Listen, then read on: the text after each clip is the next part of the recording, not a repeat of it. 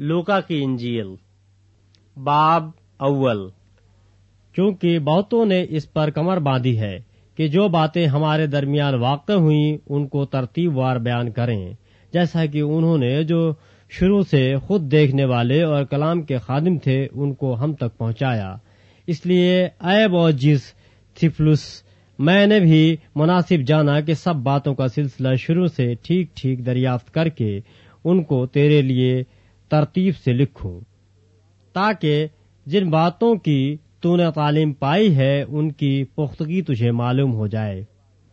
यहूदिया के बादशाह हेरोदेस के जमाने में अबिया के फरीक में से जकरिया नाम एक काहिन था, और उसकी बीवी हारून की औलाद में से थी, और उसका नाम एलिशबा था, और वो दोनों खुदा के हुजूर रास्तबाज और खुदाबंद के सब अहकाम व कवानीन पर बेऐब चलने वाले थे। और उनके औलाद न थी, क्योंकि एलिसबा बाज थी और दोनों उम्र रसीदा थे। जब वो खुदा के हुजूर अपने फरीक की बारी पर कहानत का काम अंजाम देता था तो ऐसा हुआ। कि कहानत के दस्तूर के मुआफिक उसके नाम का खुरा निकला कि खुदाबंद के मुकद्दस में जाकर खुशबू जलाए और लोगों की सारी जमात खुशबू जलाने वक्त बाहर दुआ कर रही थी कि खुदाबंद का फरिश्ता खुशबू के मौजब्बा के दहनी तरफ़ खड़ा हुआ उसको दिखाई दिया। और जकरिया देख कर घबराया और उस पर दहशत छा गई। मगर फरिश्ता ने उससे कहा, ए जकरिया, खौफ न कर, क्योंकि तेरी दुआ सुन ली गई और तेरे लिए तेरी बीवी एलिशबा के बेटा होगा। तू उसका नाम योहन्ना रखना और तुझे खुशी खुर्मी होगी और बहुत से लोग उसकी पैदाइश के सबब से खुश होंगे, क्योंकि वो खुदाबंद के हुजूर में बुज़ुर्ग होगा और हरगिज न मैं, न कोई और शराब पिएगा और अपनी माँ के पेट ही से रूहुल से भर जाएगा। और बहुत सी बने इसराइल को खुदाबंद की तरफ़ जो उनका खुदा है फेरेगा। और वो एलिया की रूह और कुवत में उसके आगे आगे चलेगा कि वालिदों के दिल औलाद की तरफ़ और नाफरमानों को रास्तबाजों की दानाई पर चलने की तरफ़ फेरे और खुदाबंद के लिए एक मुस्तैद कौम तैयार करे। जकरिया ने फरिश्ते से कहा, मैं इस बात को किस तरह जानूं? क्योंकि मैं बूढ़ा हूँ और मेरी बीवी उम्र रसीदा है। फरिश्ते ने जवाब में उससे कहा, मैं जिब्राइल हूँ, जो खुदा के हुजूर खड़ा रहता हूँ और इसलिए भेजा गया हूँ कि तुझसे कलाम करूँ और तुझे इन बातों की खुशखबरी दूँ। और देख, जिस दिन तक ये बातें वाक़ न हो लें तू चुपका रहेगा और बोल न सकेगा। इसलिए कि तूने मेरी बातों का जो अपने वक्त पर पूरी होंगी यकीन न किया। और लोग जकरिया की राह देखते और तजुब करते थे कि उसे मुकद्दस में क्यों देर लगी। जब वो बाहर आया तो उनसे बोल न सका। बस उन्होंने मालूम किया कि उसने मुकद्दस में रवैया देखी है और वो उसे इशारे करता था और गूँगा ही रहा। फिर ऐसा हुआ कि जब उसकी खिदमत के दिन पूरे हो गए तो वो अपने घर गया। इन दिनों के बाद उसकी बीवी एलिसबा हामला हुई और उसने पाँच महीने तक अपने तई यह कहकर छुपाए रखा कि जब खुदाबंद ने मेरी रसवाई लोगों में से दूर करने के लिए मुझ पर नज़र की, उन दिनों में उसने मेरे लिए ऐसा किया। छठे महीने में जिब्राइल फरिश्ता खुदा की तरफ़ से गलील के एक शहर में, जिसका नाम नाजरत था, एक कुआरी के पास भेजा गया, जिसकी मंगनी दाऊद के घराने के एक मर्द यूसुफ नाम से हुई थी। और उस कुआरी का नाम मरियम था। और फरिश्ते ने उसके पास अंदर आकर कहा, सलाम तुझको, जिस पर फजल हुआ है, खुदाबंद तेरे साथ है। वो इस कलाम से बहुत घबरा गई और सोचने लगी कि ये कैसा सलाम है। फरिश्ते ने उससे कहा अय मरियम, खौफ न कर, क्योंकि खुदा की तरफ़ से तुझ पर फजल हुआ है। और देख, तू हामला होगी और तेरा बेटा होगा। उसका नाम ईसु रखना। वो बुज़ुर्ग होगा और खुदा ताला का बेटा कहलाएगा और खुदाबंद उसके बाप दाऊद का तख्त उसे देगा और वो याकूब के घराने पर अब तक बादशाही करेगा और उसकी बादशाही का आखिर न होगा। मरियम ने फरिश्ते से कहा, ये क्यों कर होगा, जबकि मैं मर्द को नहीं जानती? और फरिश्ते ने जवाब में उससे कहा कि रूहुल कुस तुझ पर नाजिल होगा। और खुदा तला की कुदरत तुझ पर साया डालेगी, और इस सबब से वो मौलूद मुकद्दस खुदा का बेटा कहलाएगा। और देख, तेरी रिश्तेदार एलिसबा के भी बुढ़ापे में बेटा होने वाला है, और अब उसको जो बाँच कहलाती थी, छठा महीना है। क्योंकि जो कौल खुदा की तरफ़ से है, वो हर गिज बेतासीर न होगा। मरियम ने कहा देख, मैं खुदावंद की बंदी हूँ। मेरे लिए तेरे कौल के मुआफिक हो। तब फरिश्ता उसके पास से चला गया। उन्हीं दिनों मरियम उठी और जल्दी से पहाड़ी मुल्क में यहूदा के एक शहर को गई और जकरिया के घर में दाखिल होकर एलिशबा को सलाम किया। और जू ही एलिसबा ने मरियम का सलाम सुना तो ऐसा हुआ कि बच्चा उसके पेट में उछल पड़ा और एलिसबा रूहुल कुस से भर गई। और बुलंद आवाज़ से पुकार कर कहने लगी कि तू औरतों में मुबारक और तेरे पेट का फल मुबारक है। और मुझ पर यह फजल कहाँ से हुआ कि मेरे खुदाबंद की माँ मेरे पास आई? क्योंकि देखो, जू ही तेरे सलाम की आवाज़ मेरे कान में पहुँची, बच्चा मारे खुशी के मेरे पेट में उछल पड़ा। और मुबारक है वो जो ईमान लाई, क्योंकि जो बातें खुदाबंद की तरफ़ से उससे कही गई थी, वो पूरी होंगी। फिर मरियम ने कहा कि मेरी जान खुदाबंद की बड़ाई करती है और मेरी रूह मेरे मुनज खुदा से खुश हुई, क्योंकि उसने अपनी बंदी को पस्तहाली पर नज़र की और देख अब से लेकर हर जमाने के लोग मुझको मुबारक कहेंगे, क्योंकि उस कादिर ने मेरे लिए बड़े बड़े काम किए हैं और उसका नाम पाक है और उसका रहम उन पर जो उससे डरते हैं, पुष्ट दर पुष्ट रहता है। उसने अपने बाजू से ज़ोर दिखाया और जो अपने तई बड़ा समझते थे, उनको परागंदा किया। उसने अख्तियार वालों को तख्त से गिरा दिया और पस्त हालों को बुलंद किया। उसने भूखों को अच्छी चीज़ों से सहर कर दिया और दौलतमंदों को खाली हाथ लौटा दिया। उसने अपने खादिम इसराइल को संभाल लिया ताकि अपनी उस रहमत को याद फरमाए, जो अब्राहम और उसकी नस्ल पर अबद तक रहेगी। जैसा उसने हमारे बाप दादा से कहा था, और मरियम तीन महीने के करीब उसके साथ रहकर अपने घर को लौट गई, और एलिसबा के वजे हमल का वक्त आ पहुँचा और उसके बेटा हुआ, और उसके पड़ोसियों और रिश्तेदारों ने ये सुनकर कि खुदाबंद ने उस पर बड़ी रहमत की, उसके साथ खुशी मनाई, और आठवें दिन ऐसा हुआ कि वो लड़के का खतना करने आए और उसका नाम उसके बाप के नाम पर जकरिया रखने लगे। मगर उसकी माँ ने कहा नहीं, बल्कि उसका नाम योहन्ना रखा जाए। उन्होंने उससे कहा कि तेरे कुंबे में किसी का ये नाम नहीं, और उन्होंने उसके बाप को इशारा किया कि तू उसका नाम क्या रखना चाहता है। उसने तख्ती मंगाकर ये लिखा कि उसका नाम योहन्ना है और सबने ताजुब किया। उसी दम उसका मुँह और ज़ुबान खुल गई और वो बोलने और खुदा की हमद करने लगा और उनके आसपास के सब रहने वालों पर दहशत छा गई और यहूदिया के तमाम पहाड़ी मुल्क में इन सब बातों का चर्चा फैल गया और सब सुनने वालों ने उनको दिल में सोच कर कहा, तू ये लड़का कैसा होने वाला है? क्योंकि खुदा का हाथ उस पर था। तो उसका बाप जकरिया रूहुल कुद्स से भर गया और नबूवत की राह से कहने लगा, खुदाबंद, इसराइल के खुदा की हमद हो, क्योंकि उसने अपनी उम्मत पर तवज्जो करके उसे छुटकारा दिया और अपने खादिम दाऊद के घराने में हमारे लिए निजात का सिंह निकाला, जैसा उसने अपने पाक नबियों की जबानी कहा था, जो कि दुनिया के शुरू से होते आए हैं। आनी हमको हमारे दुश्मनों से और सब कीना रखने वालों के हाथ से निजात बख्शी, ताकि हमारे बाप दादा पर रहम करे और अपने पाक अहद को याद फरमाए। यानी उस कसम को जो उसने हमारे बाप अब्राहम से खाई थी, कि वो हमें ये अनायत करेगा कि अपने दुश्मनों के हाथ से छूट कर उसके हुजूर पाकिजगी और रास्तबाजी से उम्र भर बेखौफ उसकी इबादत करें।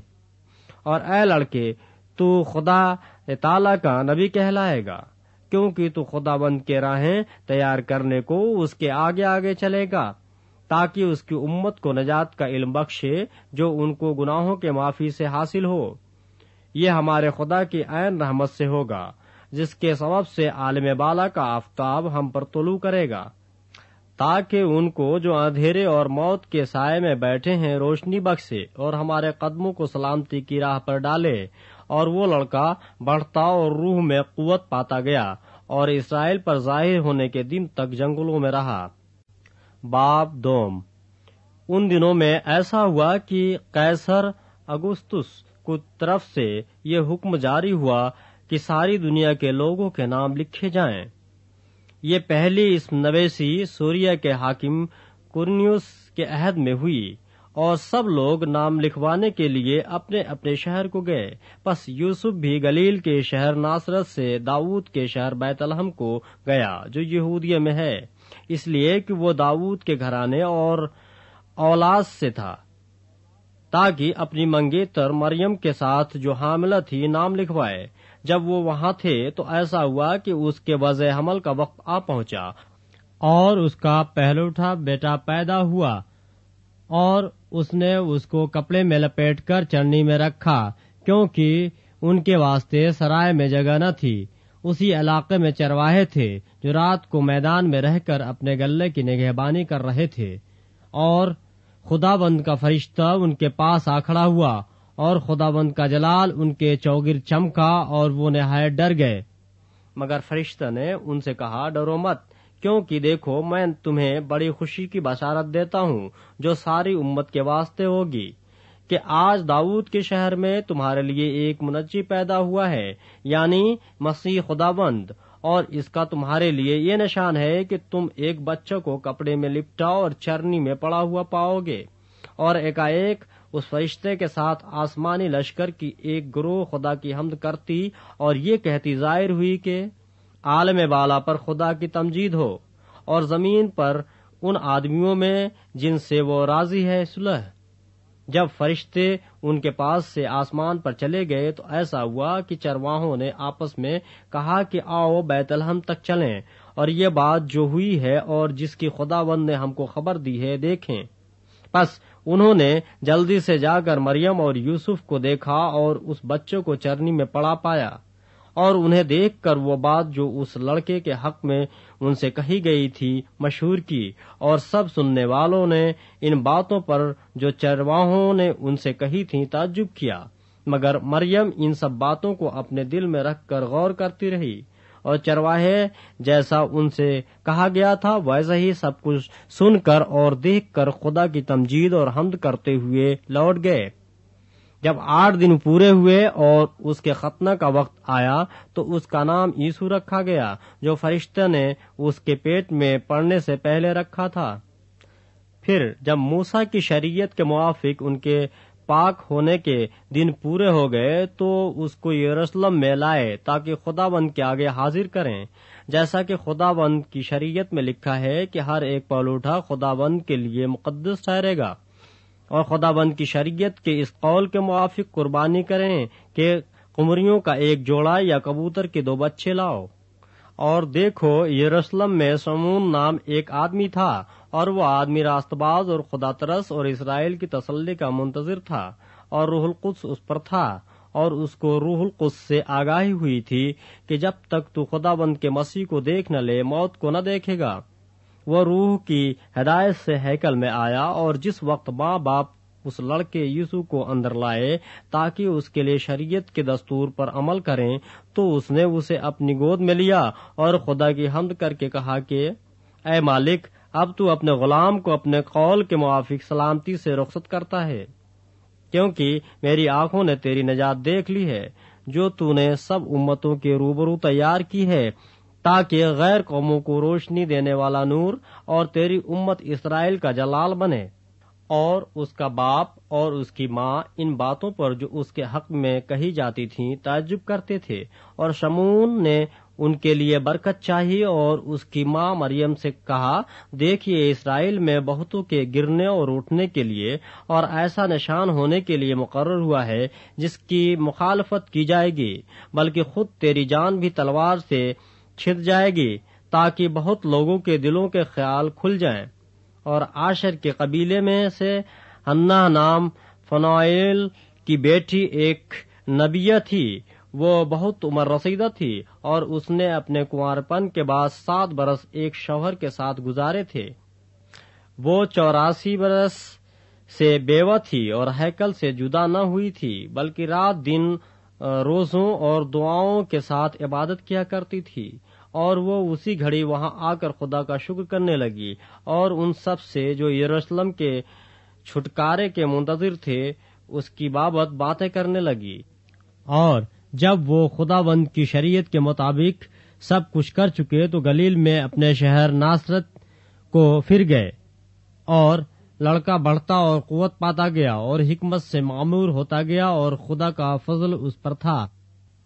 उसके माँ बाप हर बरस ईद फसह पर यरूशलेम को जाया करते थे।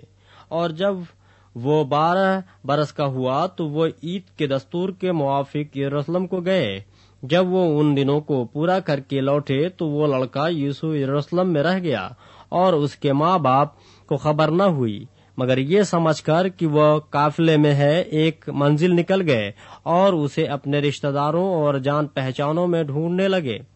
जब न मिला तो उसे ढूंढते हुए यरूशलेम तक वापस गए। और तीन रोज के बाद ऐसा हुआ कि उन्होंने उसे हैकल में उस्तादों के बीच में बैठे उनकी सुनते और उनसे सवाल करते हुए पाया। और जितने उसकी सुन रहे थे, उसकी समझ और उसके जवाबों से दंग थे। वो उसे देखकर हैरान हुए और उसकी माँ ने उससे कहा, बेटा, तूने क्यों हमसे ऐसा किया?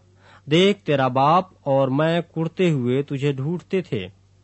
उसने उनसे कहा, तुम मुझे क्यों ढूंढते थे? क्या तुमको मालूम न था कि मुझे अपने बाप के यहाँ होना ज़रूर है? मगर जो बात उसने उनसे कही, उसे वो न समझे, और वो उनके साथ रवाना होकर नासरत में आया, और उनके ताबे रहा, और उसकी माँ ने ये सब बातें अपने दिल में रखी। और यूसु, हिकमत और कदकामत में और खुदा की और इंसान की मकबूलियत में तरक्की करता गया।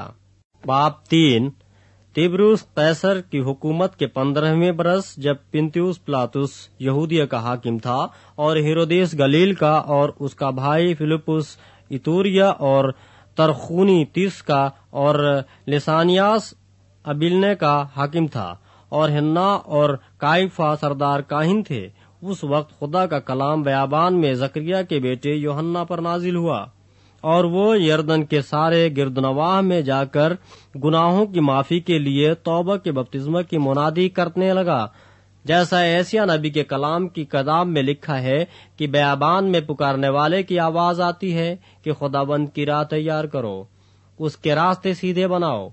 हर एक घाटी भर दी जाएगी और हर एक पहाड़ और टीला नीचा किया जाएगा और जो टेढ़ा है, सीधा और जो ऊँचा नीचा है, हमवार रास्ता बनेगा और हर बशर खुदा की निजात देखेगा।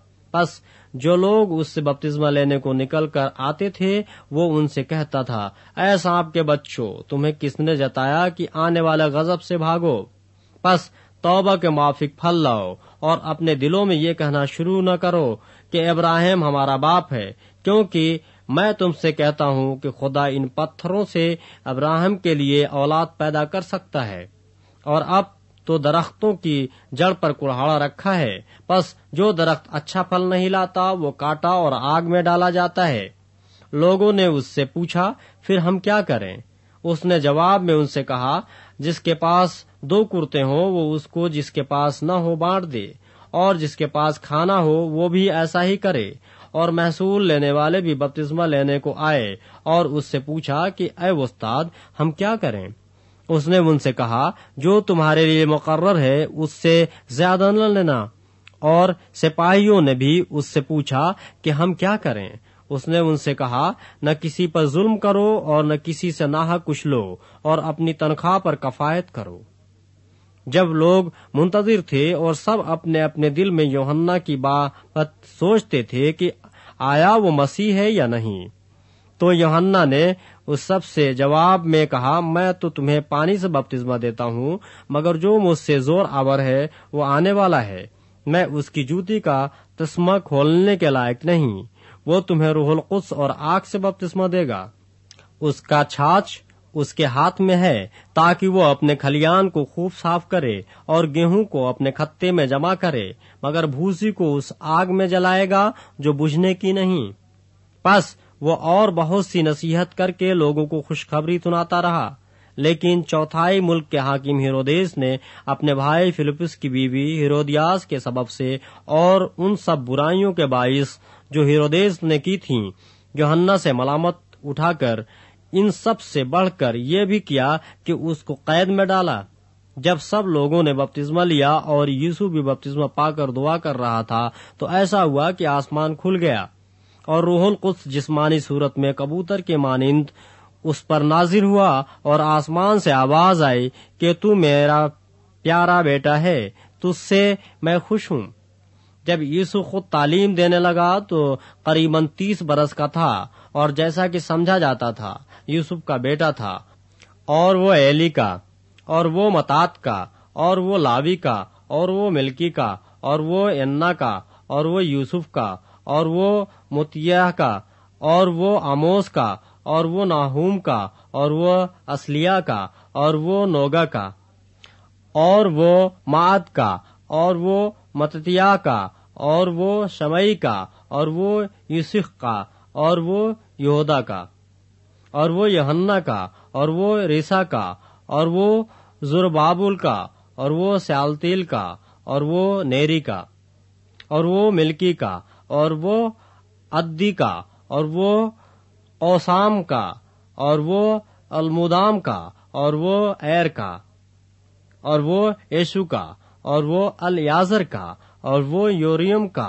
और वो मतात का और वो लावी का और वो शमून का और वो यहूदा का और वो यूसुफ का और वो यूनान का और वो एलियाकीम का और वो मिलेआह का और वो मिन्नाह का और वो मत्ताह का और वो नातन का और वो दाऊद का और वो यस्सी का और वो वैद का और वो बोअस का और वो समून का और वो नहसून का और वो अमीनादाब का और वो अरनी का और वो हसरून का और वो फारस का और वो यहूदा का और वो याकूब का और वो इजहाक का और वो अब्राहम का और वो तारा का और वो नहूर का और वो सरूज का और वो रऊ का और वो फलज का और वो अबर का और वो सिला का और वो केनान का और वो अरफसद का और वो सिम का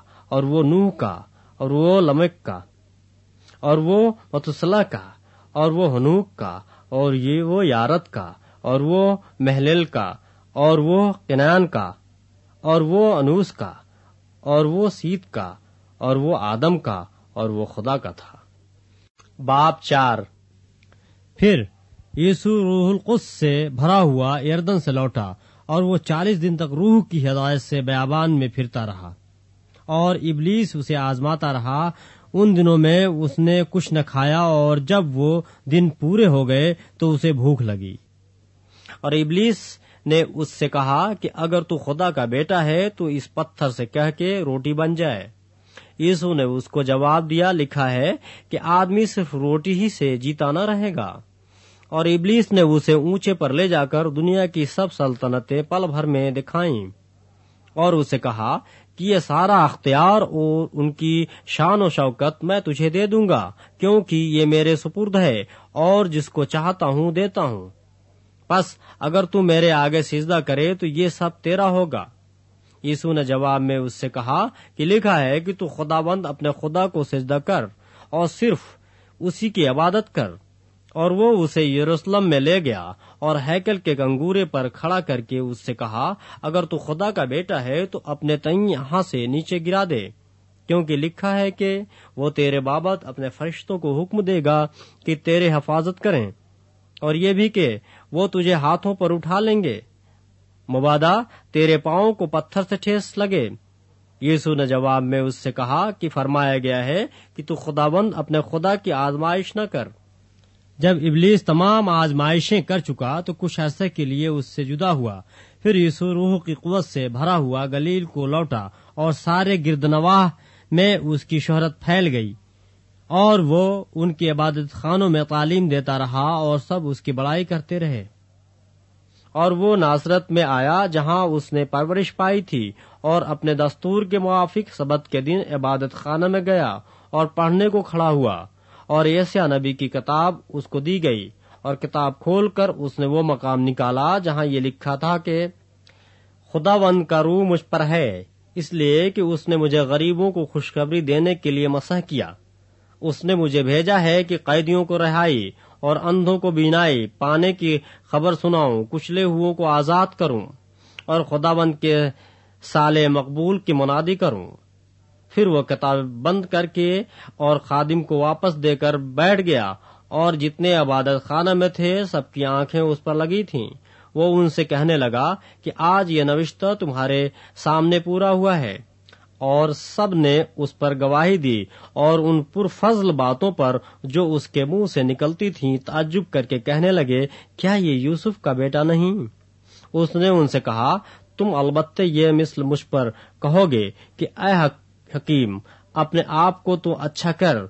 जो कुछ हमने सुना है कि कफूर में किया गया, यहाँ अपने वतन में भी कर।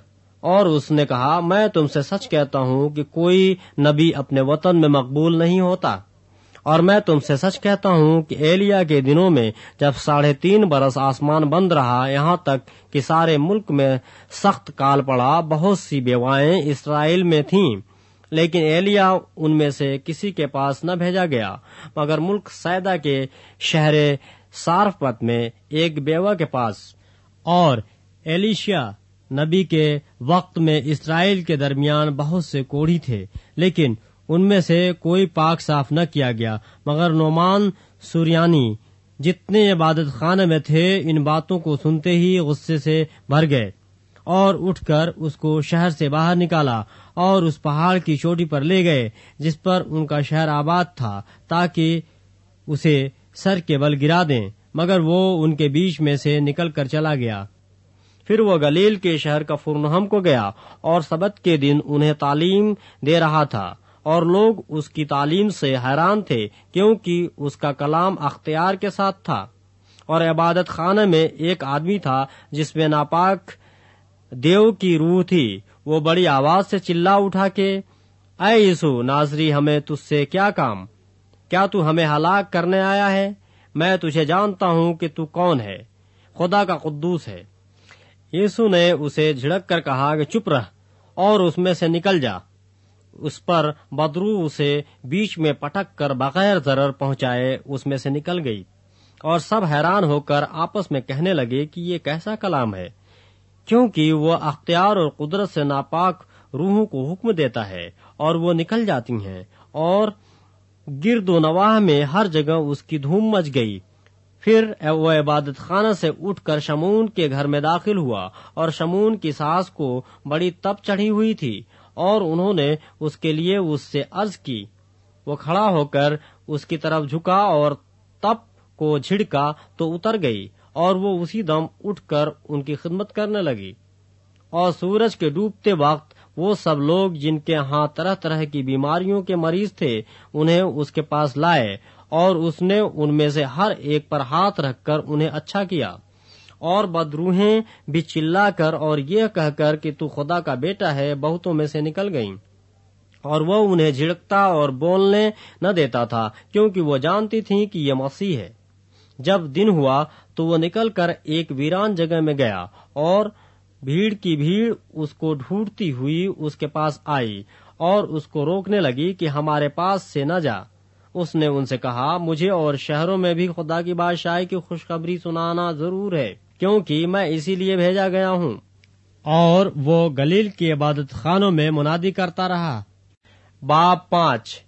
जब भीड़ उस पर गिरी पड़ती थी और खुदा का कलाम सुनती थी और वो गणेशरथ की झील के किनारे खड़ा था तो ऐसा हुआ कि उसने झील के किनारे दो कश्तियाँ लगी देखी, लेकिन मछली पकड़ने वाले उन पर से उतर कर जाल ढो रहे थे। और उसने उन कश्तियों में से एक पर चढ़कर जो शमून की थी, उससे दरखास्त की कि किनारे से जरा हटा ले चल। और वो बैठकर लोगों को कश्ती पर से तालीम देने लगा। जब कलाम कर चुका तो शमून से कहा, गहरे में ले चल और तुम शिकार के लिए अपने जाल डालो।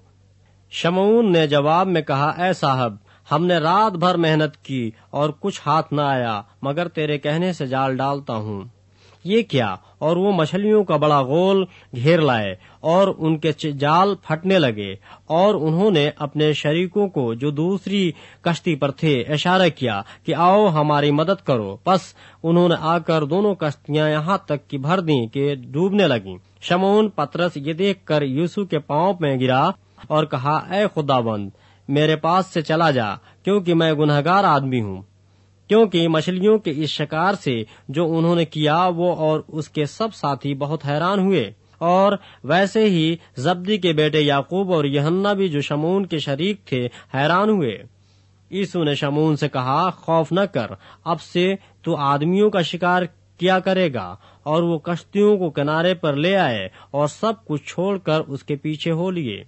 जब वो एक शहर में था तो देखो कोड़ से भरा हुआ एक आदमी यीशु को देखकर मुँह के बल गिरा और उसकी मिन्नत करके कहने लगा अय खुदाबंद, अगर तू चाहे तो मुझे पाक साफ़ कर सकता है। उसने हाथ बढ़ाकर उसे छुआ और कहा, मैं चाहता हूँ कि तू पाक साफ़ हो जा और फ़ौरन उसका कोड़ जाता रहा। और उसने उसे ताकीद की कि किसी से न कहना, बल्कि जाकर अपने तई काहिन को दिखा और जैसा मूसा ने मुकर किया है, अपने पाक साफ़ हो जाने की बाबत नज़र गुजरान, ताकि उनके लिए गवाही हो। लेकिन उसका चर्चा ज़्यादा फैला और बहुत से लोग जमा हुए कि उसकी सुने और अपनी बीमारियों से शफा पाएँ। मगर वो जंगलों में अलग जाकर दुआ किया करता था। और एक दिन ऐसा हुआ कि वो तालीम दे रहा था और फरीसी और शरह के मालिम वहाँ बैठे थे, जो गलील के हर गाँव और यहूदिया और यूरूशलेम से आए थे और खुदाबंद की कुदरत शिफा बख्शने को उसके साथ थी। और देखो, कई मर्द एक आदमी को जो मफलूस था चारपाई पर लाए और कोशिश की कि उसे अंदर लाकर उसके आगे रखें। और जब भीड़ के सबब से उसको अंदर ले जाने की राह न पाई तो कोठे पर चढ़कर खपरेल में से उसको खटोले समेत बीच में यूसुफ के सामने उतार दिया। उसने उनका ईमान देखकर कहा अय आदमी, तेरे गुनाह माफ़ हुए। इस पर फकी और फरीसी सोचने लगे कि ये कौन है जो कुफर बकता है? खुदा के सिवा और कौन गुनाह माफ़ कर सकता है? यीशु ने उनके ख्यालों को मालूम करके जवाब में उनसे कहा, तुम अपने दिलों में क्या सोचते हो? आसान क्या है? ये कहना कि तेरे गुनाह माफ़ हुए या ये कहना कि उठ और चल फिर? लेकिन इसलिए कि तुम जानो कि इब्ने आदम को ज़मीन पर गुनाह माफ़ करने का अख्तियार है। उसने मफलूज से कहा, मैं तुझसे कहता हूँ, उठ और अपना खटोला उठाकर अपने घर जा। और वो उसी दम उनके सामने उठा और जिस पर पड़ा था, उसे उठाकर खुदा की तमजीद करता हुआ अपने घर चला गया। वो सब के सब बड़े हैरान हुए और खुदा की तमजीद करने लगे और बहुत डर गए और कहने लगे कि आज हमने अजीब बातें देखी। इन बातों के बाद वो बाहर गया और लावी नाम एक महसूल लेने वाले को महसूल की चौकी पर बैठे देखा और उससे कहा, मेरे पीछे हो ले। वो सब कुछ छोड़कर उठा और उसके पीछे हो लिया। फिर लावी ने अपने घर में उसकी बड़ी जियाफत की और महसूल लेने वालों और औरों को, जो उनके साथ खाना खाने बैठे थे, बड़ा मजमा था। और फरीसियों और उनके फकी उसके शागिर्दों से यह कहकर बड़बड़ाने लगे कि तुम क्यों महसूल लेने वालों और गुनाहगारों के साथ खाते पीते हो? यीशु ने जवाब में उनसे कहा कि तंदुरुस्तों को तबीब की ज़रूरत नहीं, बल्कि बीमारों को। मैं रास्तबाजों को नहीं, बल्कि गुनाहगारों को तौबा के लिए बुलाने आया हूँ। और उन्होंने उससे कहा कि योहन्ना के शागिर्द अक्सर रोजा रखते और दुआएँ क्या करते हैं और इसी तरह फरीसियों के भी, मगर तेरे शागिर्द खाते पीते हैं। यीशु ने उनसे कहा कि क्या तुम बारातियों से जब तक दूल्हा उनके साथ है, रोजा रखवा सकते हो? मगर वो दिन आएँगे और जब दूल्हा उनसे जुदा किया जाएगा, तब उन दिनों में वो रोजा रखेंगे। और उसने उनसे एक तमसील भी कही कि कोई आदमी नई पोशाक में से फाड़ कर पुरानी पोशाक में पैबंद नहीं लगाता, वरना नई भी फटेगी और उसका पैबंद पुरानी में मेल भी न खाएगा। और कोई शख्स नई मैं पुरानी मशकों में नहीं भरता, नहीं तो नई मैं मशक को फाड़ कर खुद भी बह जाएगी और मशकें भी बर्बाद हो जाएँगी, बल्कि नई मैं नई मशकों में भरना चाहिए। और कोई आदमी पुरानी मैं पीकर नई की ख्वाहिश नहीं करता, क्योंकि कहता है कि पुरानी ही अच्छी है। बाप छ। फिर सबत के दिन यूँ हुआ कि वो खेतों में होकर जा रहा था और उसके शागिर्द बालें तोड़ तोड़कर और हाथों से मल मल कर खाते जाते थे। और फरीसियों में से बास कहने लगे, तुम वो काम क्यों करते हो जो सबत के दिन करना रवा नहीं?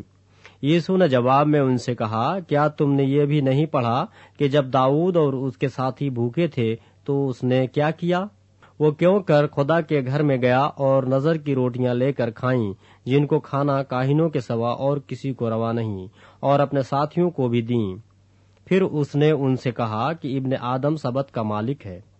और यूँ हुआ कि किसी और सबत को वो इबादत खाना में दाखिल होकर तालीम देने लगा और वहाँ एक आदमी था जिसका दहना हाथ सूख गया था।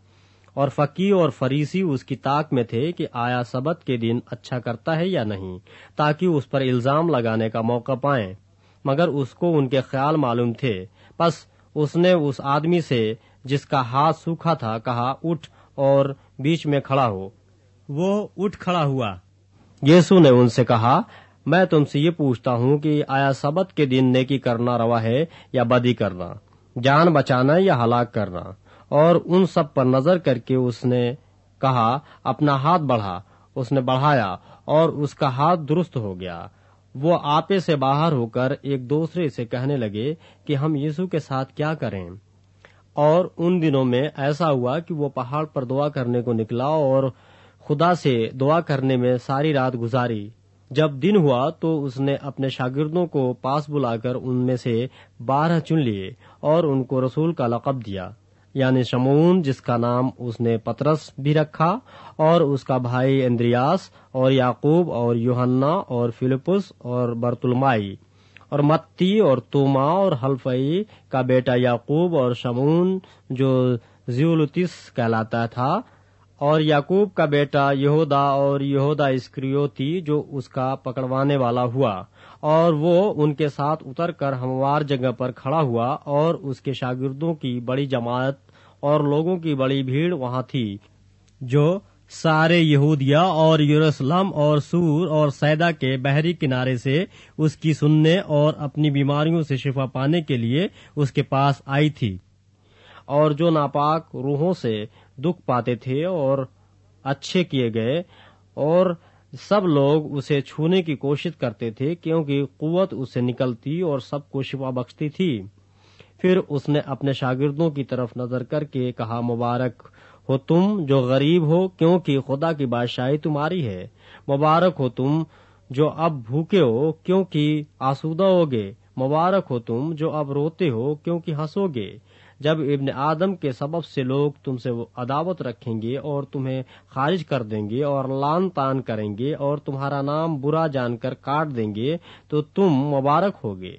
उस दिन खुश होना और खुशी के मारे उछलना। इसलिए कि देखो, आसमान पर तुम्हारा उज्र बड़ा है, क्योंकि उनके बाप दादा नबियों के साथ भी ऐसा ही किया करते थे। मगर अफसोस तुम पर जो दौलतमंद हो, क्योंकि तुम अपनी तसल्ली पा चुके। अफसोस, तुम पर जो अब शेर हो, क्योंकि भूखे होगे। अफसोस, तुम पर जो अब हँसते हो, क्योंकि मातम करोगे और रोगे। अफसोस, तुम पर जब सब लोग तुम्हें भला कहें, क्योंकि उनके बाप दादा झूठे नबियों के साथ भी ऐसा ही किया करते थे। लेकिन मैं तुम सुनने वालों से कहता हूँ कि अपने दुश्मनों से मोहब्बत रखो जो तुमसे अदावत रखें, उनका भला करो। जो तुम पर लानत करें, उनके लिए बरकत चाहो। जो तुम्हारी बेइज्जती करें, उनके लिए दुआ करो। जो तेरे एक गाल पर तमाचा मारे, दूसरा भी उसकी तरफ़ फेर दे, और जो तेरा चोगा ले, उसको कुर्ता लेने से भी मना न कर। जो कोई तुझसे मांगे, उसे दे, और जो तेरा माल ले ले, उससे तलब न कर। और जैसा तुम चाहते हो कि लोग तुम्हारे साथ करें, तुम भी उनके साथ वैसा ही करो। अगर तुम अपने मोहब्बत रखने वालों ही से मोहब्बत रखो तो तुम्हारा क्या एहसान है? क्योंकि गुनहगार भी अपने मोहब्बत रखने वालों से मोहब्बत रखते हैं। और अगर तुम उन्हीं का भला करो, जो तुम्हारा भला करें तो तुम्हारा क्या एहसान है? क्योंकि गुनहगार भी ऐसा ही करते हैं। और अगर तुम उन्हीं को कर्ज दो, जिनसे वसूल होने की उम्मीद रखते हो तो तुम्हारा क्या एहसान है? गुनहगार भी गुनहगारों को कर्ज देते हैं, ताकि पूरा वसूल कर लें। मगर तुम अपने दुश्मनों से मोहब्बत रखो और भला करो, और बगैर ना उम्मीद हुए कर्ज दो तो तुम्हारा उज्र बड़ा होगा, और तुम खुदा ताला के बेटे ठहरोगे, क्योंकि वो नाशुकरों और बदों पर भी मेहरबान है। जैसा तुम्हारा बाप रहीम है, तुम भी रहम दिल हो। ऐबजुई न करो, तुम्हारी भी ऐबजुई न की जाएगी। मुजरिम न ठहराओ, तुम भी मुजरिम न ठहराए जाओगे। खुलासी दो, तुम भी खलासी पाओगे। दिया करो, तुम्हें भी दिया जाएगा। अच्छा पैमाना दाब दाब कर और हिला हिला कर और लबरीज करके तुम्हारे पल्ले में डालेंगे, क्योंकि जिस पैमाने से तुम नापते हो, उसी से तुम्हारे लिए नापा जाएगा। और उसने उनसे एक तमसील भी कही कि क्या अंधे को अंधा राह दिखा सकता है? क्या दोनों गढ़े में न गिरेंगे? शागिर्द अपने उस्ताद से बड़ा नहीं, बल्कि हर एक जब कामिल हो तो अपने उस्ताद जैसा होगा। तू क्यों अपने भाई की आँख के तिनके को देखता है और अपनी आँख के शहतीर पर गौर नहीं करता? और जब तू अपनी आँख के शहतीर को नहीं देखता तो अपने भाई से क्यों कर कह सकता है कि, भाई ला उस तिनके को जो तेरी आँख में है, निकाल दू। अरे आकार पहले अपनी आँख में से तू शहतीर निकाल, फिर उस तिनके को जो तेरे भाई की आँख में है, अच्छी तरह देख कर निकाल सकेगा। क्योंकि कोई अच्छा दरख्त नहीं, जो बुरा फल लाए और न कोई बुरा दरख्त है जो अच्छा फल लाए। हर दरख्त अपने फल से पहचाना जाता है, क्योंकि झाड़ियों से इंजीर नहीं तोड़ते और न झरबेरी से अंगूर। अच्छा आदमी अपने दिल के अच्छे खजाने से अच्छी चीज़ें निकालता है और बुरा आदमी बुरे खजाने से बुरी चीज़ें निकालता है, क्योंकि जो दिल में भरा है, वही उसके मुँह पर आता है।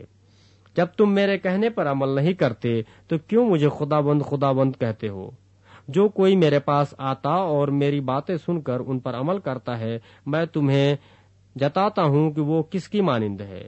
वो उस आदमी की मानिंद है जिसने घर बनाते वक्त ज़मीन गहरी खोद कर चट्टान पर बुनियाद डाली। जब रो आई तो धार उस घर पर ज़ोर से गिरी, मगर उसे हिला न सकी, क्योंकि वो मज़बूत बना हुआ था। लेकिन जो सुनकर अमल में नहीं लाता, वो उस आदमी की मानिंद है जिसने ज़मीन पर घर को बेबुनियाद बनाया।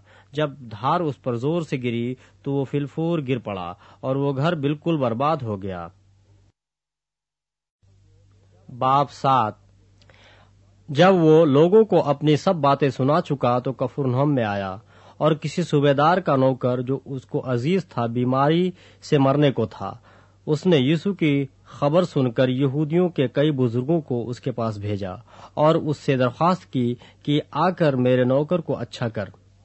वो यीशु के पास आए और उसकी बड़ी मिन्नत करके कहने लगे कि वो इस लायक है कि तू उसकी खातिर ये करे, क्योंकि वो हमारे कौम से मोहब्बत रखता है और हमारे इबादत खाना को उसी ने बनवाया। यूसुफ उनके साथ चला, मगर जब वह घर के करीब पहुँचा तो सूबेदार ने बाज दोस्तों की मार्फत उसे ये कहला भेजा कि अय खुदाबंद, तकलीफ़ न कर, क्योंकि मैं इस लायक नहीं कि तू मेरी छत के नीचे आए। इसी सबब से मैंने अपने आप को भी तेरे पास आने के लायक न समझा, बल्कि जबान से कह दे तो मेरा खादिम शिफा पाएगा। क्योंकि मैं भी दूसरे के अख्तियार में हूँ और सिपाही मेरे मातहत हैं, और जब एक से कहता हूँ जा तो वो जाता है, और दूसरे से आ तो वो आता है, और अपने नौकर से कि ये कर तो वो करता है। यीशु ने ये सुनकर उस पर ताजुब किया, और फिर कर उस भीड़ से जो उसके पीछे आती थी, कहा, मैं तुमसे कहता हूँ कि मैंने ऐसा ईमान इसराइल में भी नहीं पाया, और भेजे हुए लोगों ने घर में वापस आकर उस नौकर को तंदुरुस्त पाया। थोड़े अरसे के बाद ऐसा हुआ कि वो नाइन नाम एक शहर को गया और उसके शागिर्द और बहुत से लोग उसके हमरा थे। जब वो शहर के फाटक के नज़दीक पहुँचा तो देखो एक मुर्दा को बाहर लिए जाते थे। वो अपनी माँ का इकलौता बेटा था और वो बेवा थी और शहर के बहुतेरे लोग उसके साथ थे। उसे देखकर खुदाबंद को तरस आया और उससे कहा, मत रो। फिर उसने पास आकर जनाजे को छुआ और उठाने वाले खड़े हो गए और उसने कहा, ए जवान, मैं तुझसे कहता हूँ, उठ। वो मुर्दा उठ बैठा और बोलने लगा और उसने उसे उसकी माँ को सौंप दिया और सब पर दहशत छा गई और वो खुदा की तमजीद करके कहने लगे कि एक बड़ा नबी हम में बरपा हुआ है और खुदा ने अपनी उम्मत पर तवज्जो की है और उसकी नस्बत ये खबर सारे यहूदिया और तमाम गिरदनवा में फैल गई। और योहन्ना को उसके शागिर्दों ने इन सब बातों की खबर दी। इस पर योहन्ना ने अपने शागिर्दों में से दो को बुलाकर खुदाबंद के पास ये पूछने को भेजा कि आने वाला तू ही है या हम दूसरे की राह देखें? उन्होंने उसके पास आकर कहा, योहन्ना बपतिस्मा देने वाले ने हमें तेरे पास ये पूछने को भेजा है कि आने वाला तू ही है या हम दूसरे की राह देखें? उसी घड़ी उसने बहुतों को बीमारियों और आफतों और बुरी रूहों से निजात बख्शी और बहुत से अंधों को बिनाई अता की। उसने जवाब में उनसे कहा कि जो कुछ तुमने देखा और सुना है, जाकर योहन्ना से बयान करो कि अंधे देखते हैं, लेंगड़े चलते फिरते हैं, कोढ़ी पाक साफ़ किए जाते हैं, बहरे सुनते हैं, मुर्दे ज़िंदा किए जाते हैं, गरीबों को खुशखबरी सुनाई जाती है, और मुबारक है वो जो मेरे सबब से ठोकर न खाए। जब योहन्ना के कासिद चले गए तो यूसुफ योहन्ना के हक में लोगों से कहने लगा कि तुम बयाबान में क्या देखने गए थे? क्या हवा से हिलते हुए सरकंडे को? तो फिर क्या देखने गए थे? क्या महीन कपड़े पहने हुए शख्स को? देखो, जो चमकदार पोशाक पहनते और ऐश इज़्ज़त में रहते हैं, वो बादशाही महलों में होते हैं। तो फिर तुम क्या देखने गए थे? क्या एक नबी? हाँ मैं तुमसे कहता हूँ, बल्कि नबी से बड़े को। ये वही है जिसकी बाबत लिखा है कि, देख, मैं अपना पैगंबर तेरे आगे भेजता हूँ, जो तेरी राह तेरे आगे तैयार करेगा। मैं तुमसे कहता हूँ कि जो औरतों से पैदा हुए हैं उनमें योहन्ना बपतिस्मा देने वाले से कोई बड़ा नहीं। लेकिन जो खुदा की बादशाही में छोटा है वो उससे बड़ा है। और सब आम लोगों ने जब सुना तो उन्होंने और महसूल लेने वालों ने भी, भी योहन्ना का बपतिस्मा लेकर खुदा को रास्ताबाज मान लिया। मगर फरीसियों और शरक के आलिमों ने उससे बपतिस्मा न लेकर खुदा के इरादे को अपनी नस्बत बातिल कर दिया।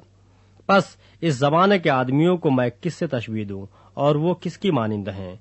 उन लड़कों की मानिंद हैं जो बाज़ार में बैठे हुए एक दूसरे को पुकार कर कहते हैं कि हमने तुम्हारे लिए बांसली बजाई और तुम न नाचे। हमने मातम किया और तुम न रोए। क्योंकि योहन्ना बपतिस्मा देने वाला न तो रोटी खाता हुआ आया, न मैं पीता हुआ। और तुम कहते हो कि उसमें बदरू है? इब्न आदम खाता पीता आया और तुम कहते हो कि देखो खाओ और शराबी आदमी महसूल लेने वालों और गुनहगारों का यार। लेकिन हिकमत अपने सब लड़कों की तरफ़ से रास साबित हुई। फिर किसी फरीसी ने उससे दरख्वास्त की कि मेरे साथ खाना खा। बस वो उस फरीसी के घर जाकर खाना खाने बैठा। तो देखो एक बदछलन औरत जो उस शहर की थी, ये जानकर कि वो उस फरीसी के घर में खाना खाने बैठा है, संगमरमर के इत्रदान में इत्र लाई। और उसके पाँव के पास रोती हुई पीछे खड़ी होकर उसके पाँव आंसुओं से भिगोने लगी और अपने सर के बालों से उनको पोंछा और उसके पाँव बहुत चूमे और उन पर इतर डाला। उसकी दावत करने वाला फरीसी ये देखकर अपने जी में कहने लगा कि अगर ये शख्स नबी होता तो जानता कि जो उसे छूती है वो कौन और कैसी औरत है, क्योंकि बच्चलन है। यीशु ने जवाब में उससे कहा ए शमून, मुझे तुझसे कुछ कहना है। उसने कहा ए उस्ताद, कह। किसी साहूकार के दो कर्जदार थे, एक पाँच सौ दिनार का, दूसरा पचास का। जब उनके पास अदा करने को कुछ न रहा तो उसने दोनों को बख्श दिया। बस उनमें से कौन उससे ज़्यादा मोहब्बत रखेगा? शमून ने जवाब में कहा, मेरी दानित में वो जिसे उसने ज़्यादा बख्शा। उसने उससे कहा, तूने ठीक फैसला किया। और उस औरत की तरफ़ फिर कर उसने शमून से कहा, क्या तू इस औरत को देखता है? मैं तेरे घर में आया, तूने मेरे पाँव धोने को पानी न दिया, मगर इसने मेरे पाँव आंसुओं से भिगो दिए और अपने बालों से पहुँचे तूने मुझको बोसा न दिया, मगर इसने जब से मैं आया हूँ, मेरे पाँव चूमना न छोड़ा। तूने मेरे सर में तेल न डाला, मगर इसने मेरे पाँव पर इतर डाला है। इसीलिए मैं तुझसे कहता हूँ कि इसके गुनाह जो बहुत थे, माफ़ हुए, क्योंकि इसने बहुत मोहब्बत की, मगर जिसके थोड़े गुनाह माफ़ हुए, वो थोड़ी मोहब्बत करता है। और उस औरत से कहा, तेरे गुनाह माफ़ हुए। इस पर वो जो उसके साथ खाना खाने बैठे थे, अपने जी में कहने लगे कि ये कौन है जो गुनाह भी माफ़ करता है? मगर उसने औरत से कहा, तेरे ईमान ने तुझे बचा लिया है, सलामत चले जा। बाब आठ थोड़े अरसे के बाद यूँ हुआ कि वो मुनादी करता और खुदा की बादशाही की खुशखबरी सुनाता हुआ शहर शहर और गाँव गाँव फिरने लगा। और वो बारह उसके साथ थे। और बाज औरतें जिन्होंने बुरी रूहों और बीमारियों से शिफा पाई थी, यानी मरियम जो मगदिलनी कहलाती थी, जिसमें से सात बदरूहें निकली थीं, और युआना हिरोदेश के दीवान खोजा की बीवी और सुसन्ना और बहुतेरी और औरतें भी थीं जो अपने माल से उनकी खिदमत करती थीं। फिर जब बड़ी भीड़ जमा हुई और हर शहर के लोग उसके पास चले आते थे, उसने तमसील में कहा कि एक बोने वाला अपना बीज बोने निकला और बोते वक्त कुछ राह के किनारे गिरा और रौदा गया और हवा के परिंदों ने उसे चुंग लिया और कुछ चट्टान पर गिरा और उग कर सूख गया, इसलिए कि उसको तरी न पहुँची। और कुछ झाड़ियों में गिरा और झाड़ियों ने साथ साथ बढ़कर उसे दबा लिया और कुछ अच्छी ज़मीन में गिरा और उग कर सौ गुना फल लाया। यह कहकर उसने पुकारा, जिसके सुनने के कान हो, वो सुन ले। उसके शागिर्दों ने उससे पूछा, कि ये तमसील क्या है? उसने कहा, तुमको खुदा की बादशाही के भेदों की समझ दी गई है, मगर औरों को तमसीलों में सुनाया जाता है, ताकि देखते हुए न देखें और सुनते हुए न समझें। वो तमसील है कि बीज खुदा का कलाम है। राह के किनारे के वो हैं जिन्होंने सुना, फिर इबलीस आकर कलाम को उनके दिल से छीन ले जाता है। ऐसा न हो कि ईमान लाकर निजात पाए। और चट्टान पर के वो हैं जो सुनकर कलाम को खुशी से कबूल कर लेते हैं, लेकिन जड़ नहीं रखते, मगर कुछ अरसा तक ईमान रखकर आजमाइश के वक्त फिर जाते हैं। और जो झाड़ियों में पड़ा उससे वो लोग मुराद हैं जिन्होंने सुना लेकिन होते होते इस ज़िंदगी की फिक्रों और दौलत और ऐसो इशरत में फंस जाते हैं और उनका फल पकता नहीं। मगर अच्छी ज़मीन के वो हैं जो कलाम को सुनकर उमदह और नेक दिल में संभाले रहते और सब्र से फल लाते हैं। कोई शख्स चराग जलाकर बर्तन से नहीं छिपाता, न पलंग के नीचे रखता है, बल्कि चरागदान पर रखता है ताकि अंदर आने वालों को रोशनी दिखाई दे। क्योंकि कोई चीज़ छिपी नहीं, जो ज़ाहिर न हो जाएगी, और न कोई ऐसी पोशीदा बात है, जो मालूम न होगी, और जहूर में न आएगी। बस, खबरदार रहो कि तुम किस तरह सुनते हो, क्योंकि जिसके पास है, उसे दिया जाएगा, और जिसके पास नहीं है, उससे वो भी ले लिया जाएगा, जो अपना समझता है। फिर उसकी माँ और उसके भाई उसके पास आए, मगर भीड़ के सबब से उस तक पहुँच न सके। और उसे खबर दी गई कि तेरी माँ और तेरे भाई बाहर खड़े हैं और तुझसे मिलना चाहते हैं। उसने जवाब में उनसे कहा कि मेरी माँ और मेरे भाई तो ये हैं जो खुदा का कलाम सुनते और उस पर अमल करते हैं। फिर एक दिन ऐसा हुआ कि वो और उसके शागिर्द कश्ती में सवार हुए और उसने उनसे कहा, आओ झील के पार चलें। बस वो रवाना हुए। मगर जब कश्ती चली जाती थी तो वो सो गया और झील पर बड़ी आंधी आई और कश्ती पानी से भरी जाती थी और वो खतरे में थे। उन्होंने पास आकर उसे जगाया और कहा कि, साहब साहब, हम हलाक हुए जाते हैं। उसने उठकर हवा को और पानी के ज़ोर शोर को झिड़का और दोनों थम गए और अमन हो गया। उसने उनसे कहा, तुम्हारा ईमान कहाँ गया? वो डर गए और ताज्जुब करके आपस में कहने लगे कि ये कौन है? ये तो हवा और पानी को हुक्म देता है और वो उसकी मानते हैं। फिर वो गरासीनियों के इलाके में जा पहुँचे, जो उस पार गलील के सामने है। जब वो किनारे पर उतरा तो उस शहर का एक मर्द उसे मिला, जिसमें बदरूहें थीं और उसने बड़ी मुद्दत से कपड़े न पहने थे। और वो घर में नहीं, बल्कि कब्रों में रहा करता था। वो यीशु को देखकर चिल्लाया और उसके आगे गिरकर बुलंद आवाज़ से कहने लगा अय यीशु खुदा ताला के बेटे, मुझे तुझसे क्या काम? तेरी मिन्नत करता हूँ कि मुझे अजाब में न डाल, क्योंकि वो उस नापाक रूह को हुक्म देता था कि इस आदमी में से निकल जा। इसलिए कि उसने उसको अक्सर पकड़ा था और हर चंद लोग उसे जंजीरों और बेड़ियों से जकड़कर काबू में रखते थे। तो भी वो जंजीरों को तोड़ डालता था और बदरू उसको बयाबानों में भगाए फिरती थी। यीशु ने उससे पूछा, तेरा क्या नाम है? उसने कहा, लश्कर, क्योंकि उसमें बहुत सी बदरूहें थीं और वो उसकी मिन्नत करने लगी कि हमें अथाह गढ़े में जाने का हुक्म न दे। वहाँ पहाड़ पर सोरों का एक बड़ा गोल चल रहा था। उन्होंने उसकी मिन्नत की कि हमें उनके अंदर जाने दे। उसने उन्हें जाने दिया।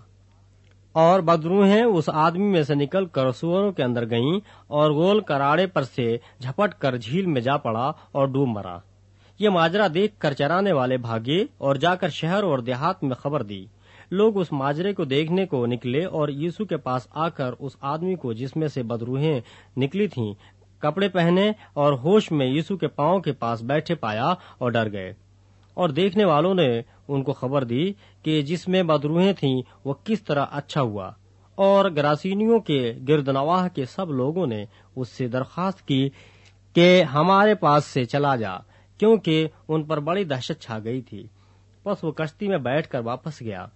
लेकिन जिस शख्स में से बदरूहें निकल गई थीं, वो उसकी मिन्नत करके कहने लगा कि मुझे अपने साथ रहने दे। मगर यीशु ने उसे रुख्सत करके कहा अपने घर को लौटकर लोगों से बयान कर कि खुदा ने तेरे लिए कैसे बड़े काम किए। वो रवाना होकर तमाम शहर में चर्चा करने लगा कि यीशु ने मेरे लिए कैसे बड़े काम किए। जब यीशु वापस आ रहा था तो लोग उससे खुशी के साथ मिले, क्योंकि सब उसकी राह तकते थे। और देखो, यार नाम एक शख्स जो इबादत खाना का सरदार था, आया और यीशु के कदमों पर गिरकर उससे मिन्नत की कि मेरे घर चल। क्योंकि उसकी एकलौती बेटी जो करीबन बारह वर्ष की थी, मरने को थी, और जब वो जा रहा था तो लोग उस पर गिरे पड़ते थे। और एक औरत ने जिसके बारह बरस से खून जारी था और अपना सारा माल हकीमों पर खर्च कर चुकी थी और किसी के हाथ से अच्छी न हो सकी थी। उसके पीछे आकर उसकी पोशाक का किनारा छुआ और उसी दम उसका खून बहना बंद हो गया। इस पर यीशु ने कहा, वो कौन है जिसने मुझे छुआ? जब सब इनकार करने लगे तो पतरस और उसके साथियों ने कहा कि, ऐ साहब, लोग तुझे दबाते और तुझ पर गिरे पड़ते हैं, मगर यीशु ने कहा कि किसी ने मुझे छुआ। तो है, क्योंकि मैंने मालूम किया कि कुवत मुझसे निकली है। जब उस औरत ने देखा कि मैं छिप नहीं सकती तो कांपती हुई आई और उसके आगे गिरकर सब लोगों के सामने बयान किया कि मैंने किस सबब से तुझे छुआ और किस तरह उसी दम शिफा पा गई। उसने उससे कहा, बेटी, तेरे ईमान ने तुझे अच्छा किया है, सलामत चली जा। वो ये कह ही रहा था कि इबादत खाना के सरदार के यहाँ से किसी ने आकर कहा कि तेरी बेटी मर गई, उस्ताद को तकलीफ़ न दे। यीशु ने सुनकर उसे जवाब दिया कि खौफ न कर, फकत एतकाद रख। वो बच जाएगी और घर में पहुंचकर पतरस और योहन्ना और याकूब और लड़की के माँ बाप के सिवा किसी को अपने साथ अंदर न जाने दिया और सब उसके लिए रो पीट रहे थे। मगर उसने कहा, रो नहीं। वो मर नहीं गई है, बल्कि सोती है। वो उस पर हंसने लगे, क्योंकि जानते थे कि वो मर गई है। मगर उसने उसका हाथ पकड़ा और पुकार कर कहा, ए लड़की, उठ। उसकी रूह फिर आई और उसी दम उठी। फिर यीशु ने हुक्म दिया कि लड़की को कुछ खाने को दिया जाए। उसके माँ बाप हैरान हुए और उसने उन्हें ताकीद की कि ये माजरा किसी से न कहना। बाब नौ फिर उसने उन बारों को बुलाकर उन्हें सब बदरूहों पर और बीमारियों को दूर करने के लिए कुदरत और अख्तियार बख्शा और उन्हें खुदा की बादशाही की मुनादी करने और बीमारों को अच्छा करने के लिए भेजा और उनसे कहा कि राह के लिए कुछ न लेना, न लाठी, न झोली, न रोटी, न रुपया, न दो दो कुर्ते रखना और जिस घर में दाखिल हो वहीं रहना और वहीं से रवाना होना। और जिस शहर के लोग तुम्हें कबूल न करें, उस शहर से निकलते वक्त अपने पाओ की गर्द झाड़ देना ताकि उन पर गवाही हो। बस, वह रवाना होकर गाँव गाँव खुशखबरी सुनाते और हर जगह शफा देते फिरे। और चौथाई मुल्क का हाकिम हिरोदेश सब अहवाल सुनकर घबरा गया। इसलिए कि बास कहते थे कि योहन्ना मुर्दों में से जी उठा है। और बाज ये कि एलिया ज़ाहिर हुआ है। और बाज ये कि कदीम नबियों में से कोई जी उठा है। मगर हिरोदेस ने कहा कि योहन्ना का तो मैंने सर कटवा दिया। अब ये कौन है जिसकी बाबत ऐसी बातें सुनता हूँ? बस उसे देखने की कोशिश में रहा। फिर रसूलों ने जो कुछ किया था लौटकर उससे बयान किया और वो उनको अलग लेकर बैत सैदा नाम एक शहर को चला गया। ये जानकर भीड़ उसके पीछे गई और वो खुशी के साथ उनसे मिला और उनसे खुदा की बादशाही की बातें करने लगा। और जो शफा पाने के मोहताज थे, उन्हें शफा बख्शी। जब दिन ढलने लगा तो उन बारह ने आकर उसे कहा कि भीड़ को रुखसत कर के चारों तरफ़ के गाँव और बस्तियों में जा टिकें और खाने की तदबीर करें, क्योंकि हम यहाँ वीरान जगह में हैं। उसने उनसे कहा, तुम ही उन्हें खाने को दो। उन्होंने कहा, हमारे पास पाँच रोटियों और दो मछलियों से ज़्यादा मौजूद नहीं, मगर हाँ हम जाकर इन सब लोगों के लिए खाना मोल ले आए, क्योंकि वो पाँच हज़ार मर्द के करीब थे। उसने अपने शागिर्दों से कहा कि उनको तखमीनन पचास पचास की कतारों में बैठाओ। उन्होंने उसी तरह किया और सबको बैठाया। फिर उसने वो पाँच रोटियाँ और मछलियाँ ली और आसमान की तरफ़ देखकर उन पर बरकत बख्शी और तोड़कर अपने शागिर्दों को देता गया कि लोगों के आगे रखें। उन्होंने खाया और सब सैर हो गए और उनके बचे हुए टुकड़ों की बारह टोकरियाँ उठाई गईं। जब वो तन्हाई में दुआ कर रहा था और शागिर्द उसके पास थे तो ऐसा हुआ कि उसने उनसे पूछा कि लोग मुझे क्या कहते हैं। उन्होंने जवाब में कहा, योहन्ना बपतिस्मा देने वाला, और बाज एलिया कहते हैं, और बाज ये के कदीम नबियों में से कोई जी उठा है। उसने उनसे कहा, लेकिन तुम मुझे क्या कहते हो? पतरस ने जवाब में कहा कि खुदा का मसीह। उसने उनको ताकीद करके हुक्म दिया कि ये किसी से न कहना। और कहा, ज़रूर है कि इब्ने आदम बहुत दुख उठाए और बुज़ुर्ग और सरदार काहिन और फकी उसे रद्द करें और वो कत्ल किया जाए और तीसरे दिन जी उठे। और उसने सबसे कहा, अगर कोई मेरे पीछे आना चाहे तो अपनी खुदी से इनकार करे और हर रोज अपनी सलीब उठाए और मेरे पीछे हो ले। क्योंकि जो कोई अपनी जान बचाना चाहे वो उसे खोएगा और जो कोई मेरी खातिर अपनी जान खोए वही उसे बचाएगा। और आदमी अगर सारी दुनिया को हासिल करे और अपनी जान को खो दे या उसका नुकसान उठाए तो उसे क्या फ़ायदा होगा? क्योंकि जो कोई मुझसे और मेरी बातों से शर्माएगा, इब्ने आदम भी जब अपने और अपने बाप के और पाक फरिश्तों के जलाल में आएगा तो उससे शर्माएगा। लेकिन मैं तुमसे सच कहता हूँ कि उनमें से जो यहाँ खड़े हैं, बाज ऐसे हैं कि जब तक खुदा की बादशाही को देख न लें, मौत का मज़ा हरगिज न चखेंगे। फिर इन बातों के कोई आठ रोज बाद ऐसा हुआ कि वो पतरस और यहन्ना और याकूब को हमराह लेकर पहाड़ पर दुआ करने गया। जब वो दुआ कर रहा था तो ऐसा हुआ कि उसके चेहरे की सूरत बदल गई और उसकी पोशाक सफ़ेद बर्राक हो गई। और देखो, दो शख्स यानी मूसा और येलिया उससे बातें कर रहे थे। ये जलाल में दिखाई दिए और उसके इंतकाल का ज़िक्र करते थे, जो यरूशलेम में वाक़ होने को था। मगर पतरस और उसके साथी नींद में भरे थे और जब अच्छी तरह बेदार हुए तो उसके जलाल को और उस दो शख्सों को देखा जो उसके साथ खड़े थे। जब वो उससे जुदा होने लगे तो ऐसा हुआ कि पतरस ने यीशु से कहा, ऐ साहब, हमारा यहाँ रहना अच्छा है। बस, हम तीन डेरे बनाए। एक तेरे लिए, एक मूसा के लिए, एक एलिया के लिए, लेकिन वो जानता न था कि ये क्या कहता है। वो ये कहता ही था कि बादल ने आकर उन पर साया कर लिया और जब वो बादल में घिरने लगे तो डर गए।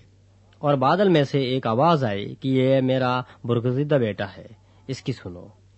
ये आवाज़ आते ही यीशु अकेला पाया गया और वो चुप रहे और जो बातें देखी थी, उन दिनों में किसी को उनकी कुछ खबर न दी। दूसरे दिन जब वो पहाड़ से उतरे थे तो ऐसा हुआ कि एक बड़ी भीड़ उससे आ मिली। और देखो, एक आदमी ने भीड़ में से चिल्लाकर कहा, ए उस्ताद, मैं तेरी मिन्नत करता हूँ कि मेरे बेटे पर नज़र कर, क्योंकि वो मेरा इकलौता है। और देखो, एक रूह उसे पकड़ लेती है और वो एकाएक चीख उठता है और उसको ऐसा मरोड़ती है कि कब भर लाता है और उसको कुचल कर मुश्किल से छोड़ती है।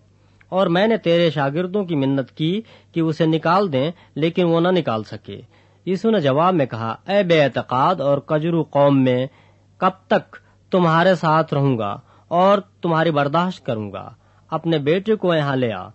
और आता ही था कि बदरू ने उसे पटक कर मरोड़ा और यीशु ने उस नापाक रूह को झिड़का और लड़के को अच्छा करके उसके बाप को दे दिया। और सब लोग खुदा की शान को देखकर हैरान हुए।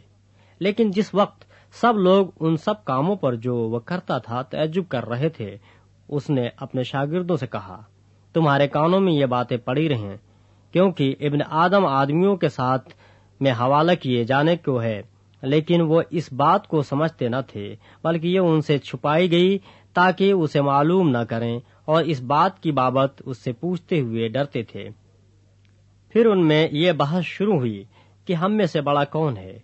लेकिन यीशु ने उनके दिलों का ख्याल मालूम करके एक बच्चे को लिया और पास खड़ा करके उनसे कहा, जो कोई इस बच्चे को मेरे नाम पर कबूल करता है वो मुझे कबूल करता है, और जो मुझे कबूल करता है, वो मेरे भेजने वाले को कबूल करता है। वो मेरे भेजने वाले को कबूल करता है, क्योंकि जो तुम में सबसे छोटा है, वही बड़ा है।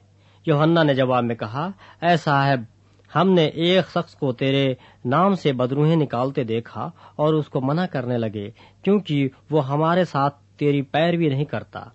लेकिन यीशु ने उनसे कहा कि उसे मना न करना, क्योंकि जो तुम्हारे खिलाफ नहीं, वो तुम्हारी तरफ़ है। जब वो दिन नज़दीक आए कि वो ऊपर उठाया जाए तो ऐसा हुआ कि उसने यरूशलेम जाने को कमर बांधी और अपने आगे कासिद भेजे। वो जाकर सामरियों के एक गाँव में दाखिल हुए, ताकि उसके लिए तैयारी करें। लेकिन उन्होंने उसको टिकने न दिया, क्योंकि उसका रुख यरूशलेम की तरफ़ था। ये देखकर उसके शागिर्द याकूब और योहन्ना ने कहा अय खुदाबंद, क्या तू चाहता है कि हम हुक्म दें कि आसमान से आग नाजिल होकर उन्हें भस्म कर दे, जैसा एलिया ने किया? मगर उसने फिर कर उन्हें झिड़का और कहा, तुम नहीं जानते कि तुम कैसी रूह के हो, क्योंकि इब्न आदम लोगों की जान बर्बाद करने नहीं, बल्कि बचाने आया। फिर वो किसी और गाँव में चले गए। जब वो राह में चले जाते थे तो किसी ने उससे कहा जहाँ कहीं तू जाए, मैं तेरे पीछे चलूँगा। यीशु ने उनसे कहा, कि लोमड़ियों के भट्ट होते हैं और हवा के परिंदों के घोंसले, मगर इब्न आदम के लिए सर धरने की भी जगह नहीं। फिर उसने दूसरे से कहा, मेरे पीछे चल। उसने कहा अय खुदाबंद, मुझे इजाज़त दे कि पहले जाकर अपने बाप को दफन करूँ। उसने उससे कहा कि मुर्दों को अपने मुर्दे दफन करने दे, लेकिन तू जाकर खुदा की बादशाही की खबर फैला। एक और ने भी कहा कि, ए खुदाबंद, मैं तेरे पीछे चलूँगा, लेकिन पहले मुझे इजाज़त दे कि अपने घर के लोगों से रुखसत हो। आऊँ यीशु ने उससे कहा कि जो कोई अपना हाथ हल पर रख कर पीछे देखता है, वो खुदा की बादशाही के लायक नहीं। बाप दस। इन बातों के बाद खुदा ने सत्तर आदमी और मुकर्र किए और जिस शहर में और जगह को खुद जाने वाला था, वहाँ उन्हें दो दो करके अपने आगे भेजा। और वो उनसे कहने लगा कि फ़सल तो बहुत है, लेकिन मजदूर थोड़े हैं। इसलिए फ़सल के मालिक की मिन्नत करो कि अपनी फ़सल काटने के लिए मजदूर भेजे। जाओ देखो, मैं तुमको गोया बर्रों को भेड़ियों के बीच में भेजता हूँ। न बटवा ले जाओ, न झोली, न जूतियाँ, और न राह में किसी को सलाम करो। और जिस घर में दाखिल हो, पहले कहो कि इस घर की सलामती हो। और वहाँ कोई सलामती का फर्जंद न होगा तो तुम्हारा सलाम उस पर ठहरेगा, नहीं तो तुम पर लौट आएगा। उसी घर में रहो और जो कुछ उनसे मिले खाओ, पियो, क्योंकि मजदूर अपनी मजदूरी का हकदार है। घर घर न फिरो। और जिस शहर में दाखिल हो और वहाँ के लोग तुम्हें कबूल करें तो जो कुछ तुम्हारे सामने रखा जाए खाओ। और वहाँ के बीमारों को अच्छा करो।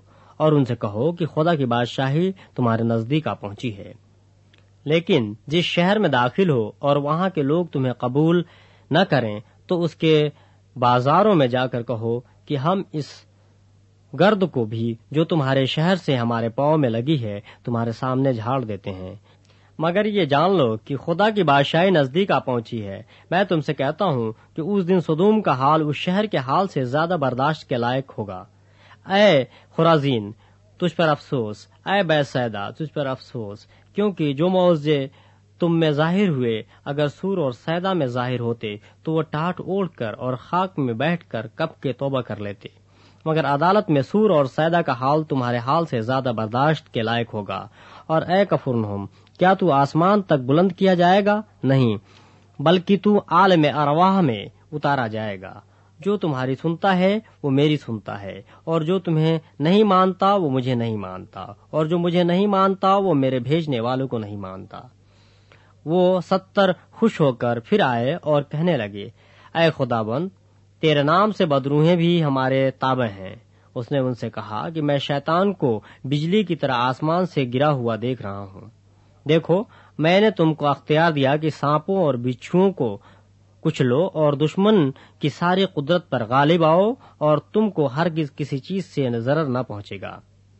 तो भी इससे खुश न हो कि रूहें तुम्हारे ताबे हैं, बल्कि इससे खुश हो कि तुम्हारे नाम आसमान पर लिखे हुए हैं।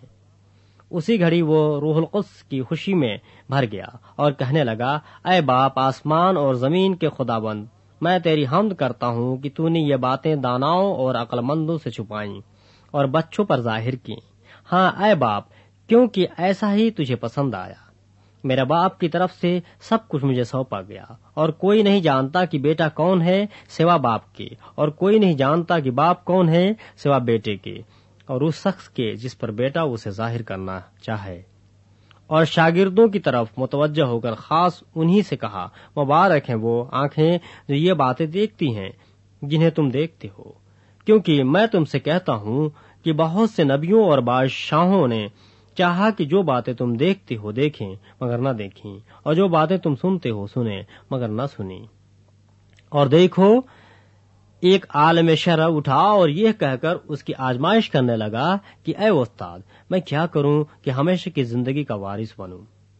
उसने उससे कहा कि, तौरेत में क्या लिखा है? तू किस तरह पढ़ता है? उसने जवाब में कहा कि खुदाबंद अपने खुदा से अपने सारे दिल और अपनी सारी जान और अपनी सारी ताकत और अपनी सारी अकल से मोहब्बत रख और अपने पड़ोसी से अपने बराबर मोहब्बत रख। उसने उससे कहा, तूने ठीक जवाब दिया। यही कर तो तू जिएगा।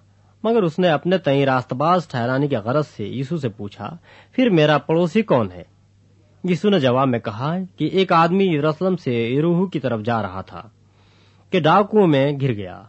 उन्होंने उसके कपड़े उतार लिए और मारा भी, और अदमुआ छोड़कर चले गए। इत्तफाकन, एक काहिन उसी राह से जा रहा था और उसे देखकर कतरा कर चला गया।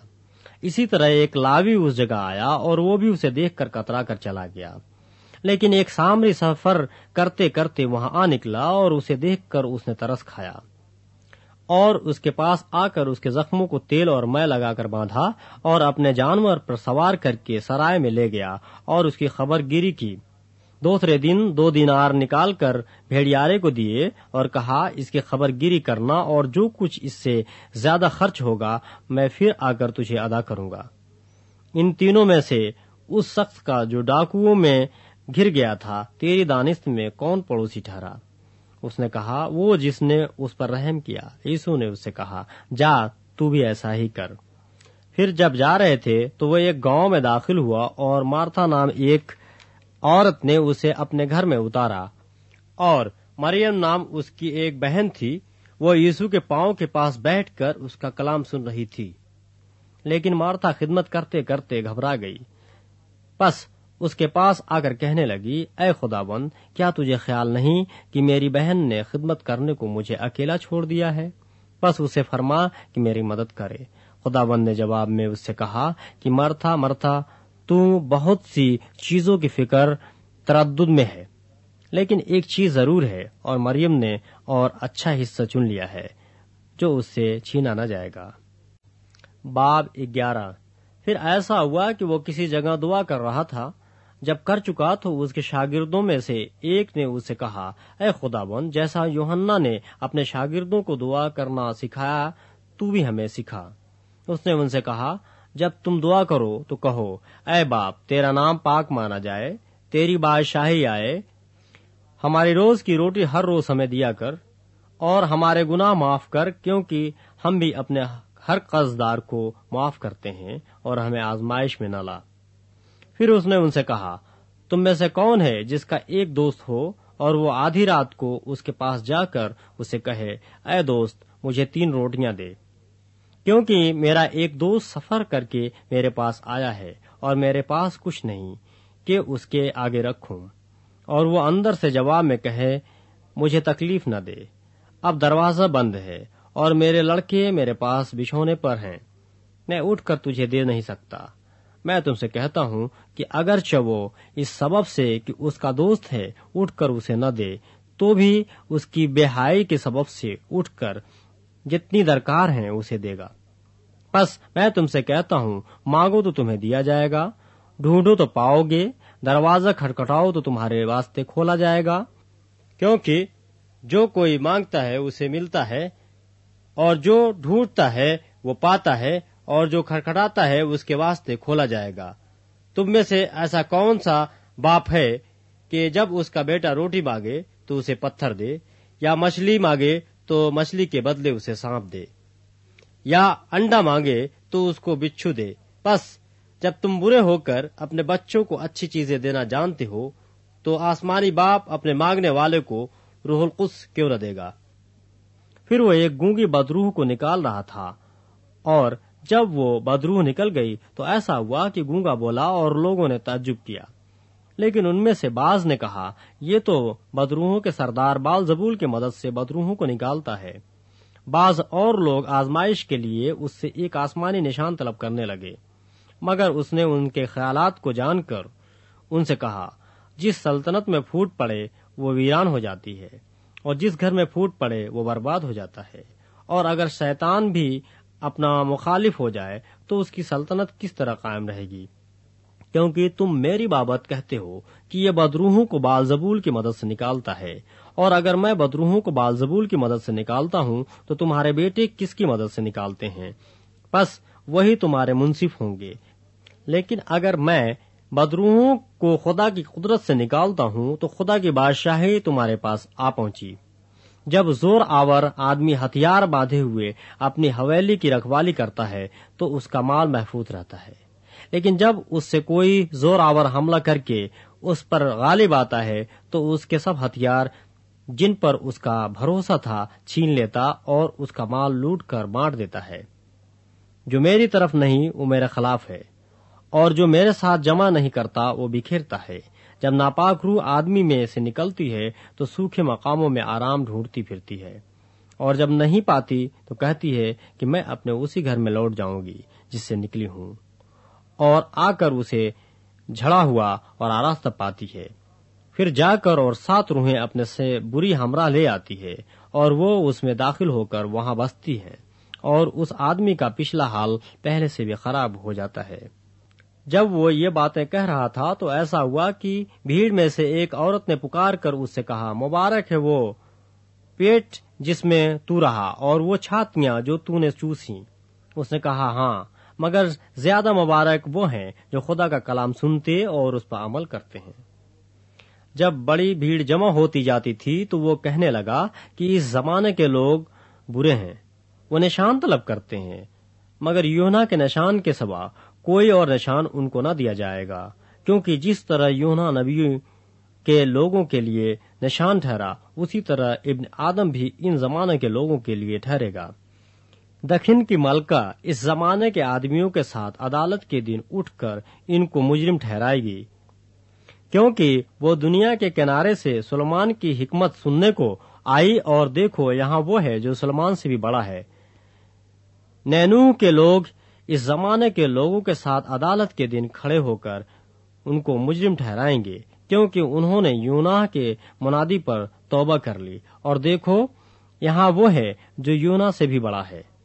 कोई शख्स चिराग जलाकर तहखाने या पैमाने के नीचे नहीं रखता, बल्कि चिराग दान पर रखता है, ताकि अंदर आने वालों को रोशनी दिखाई दे।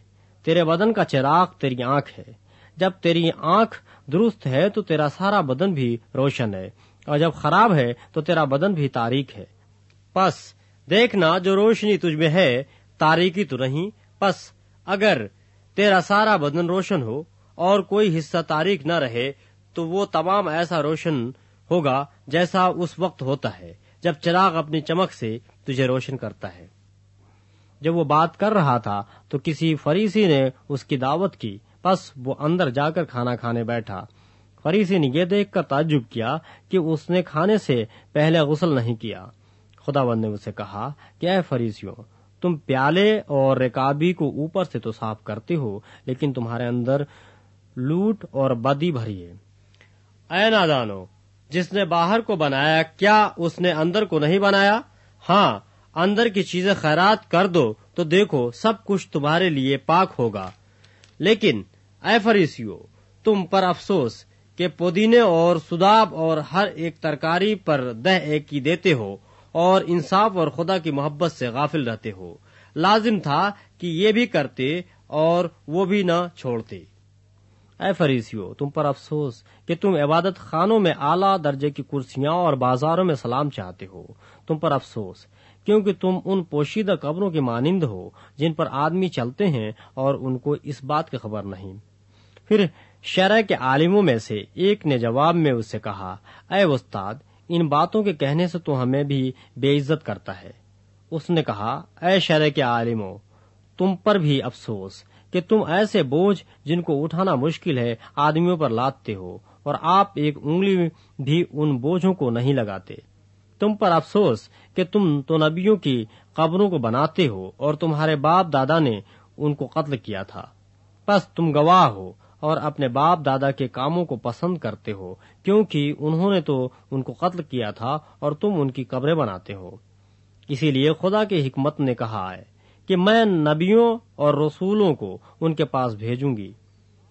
वो उनमें से बाज को कत्ल करेंगे और बाज को सताएँगे, ताकि सब नबियों के खून की जो बनाए आलम से बहाया गया इस जमाने के लोगों से बाज पुरसी की जाए।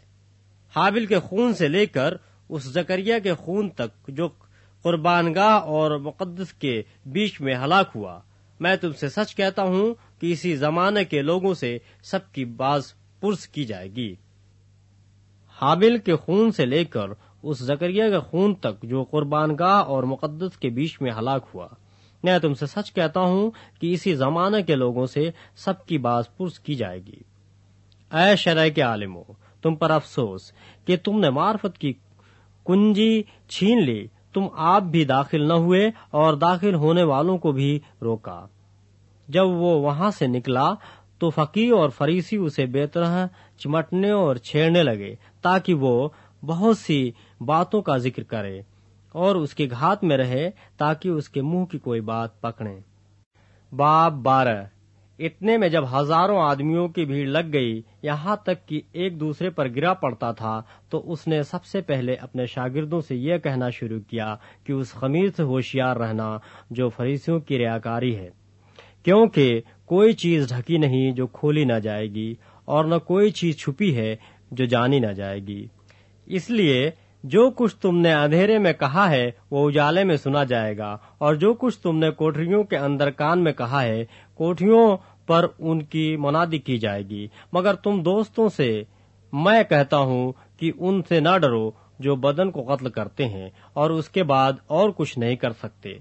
लेकिन मैं तुम्हें जताता हूँ कि किससे डरना चाहिए?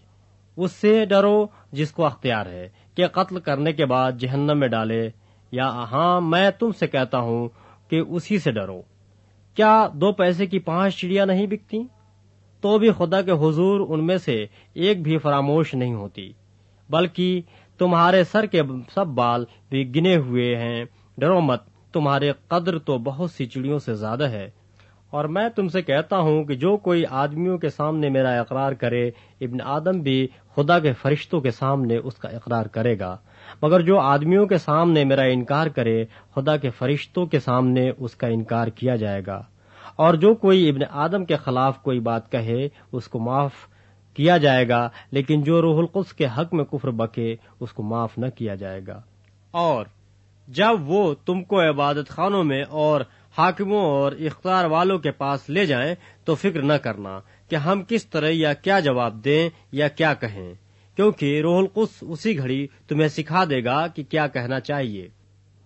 फिर भीड़ में से एक ने उससे कहा, ए उस्ताद, मेरे भाई से कह कि मीरास का मेरा हिस्सा मुझे दे।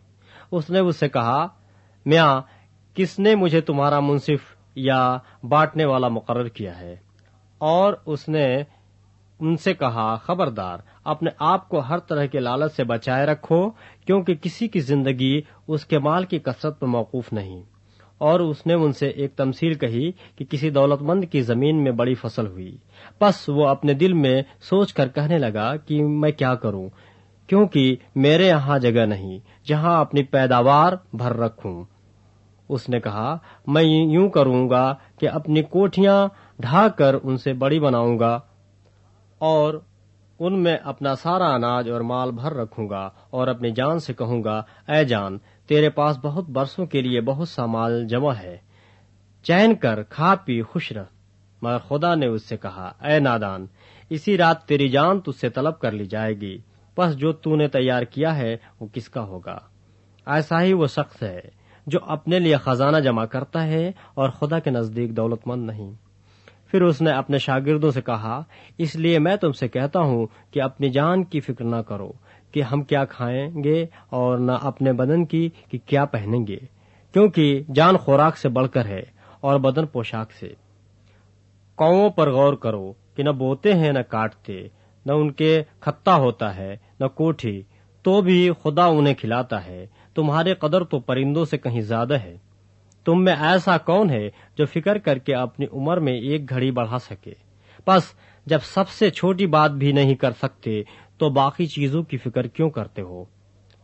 शोषण के दरख्तों पर गौर करो कि किस तरह बढ़ते हैं।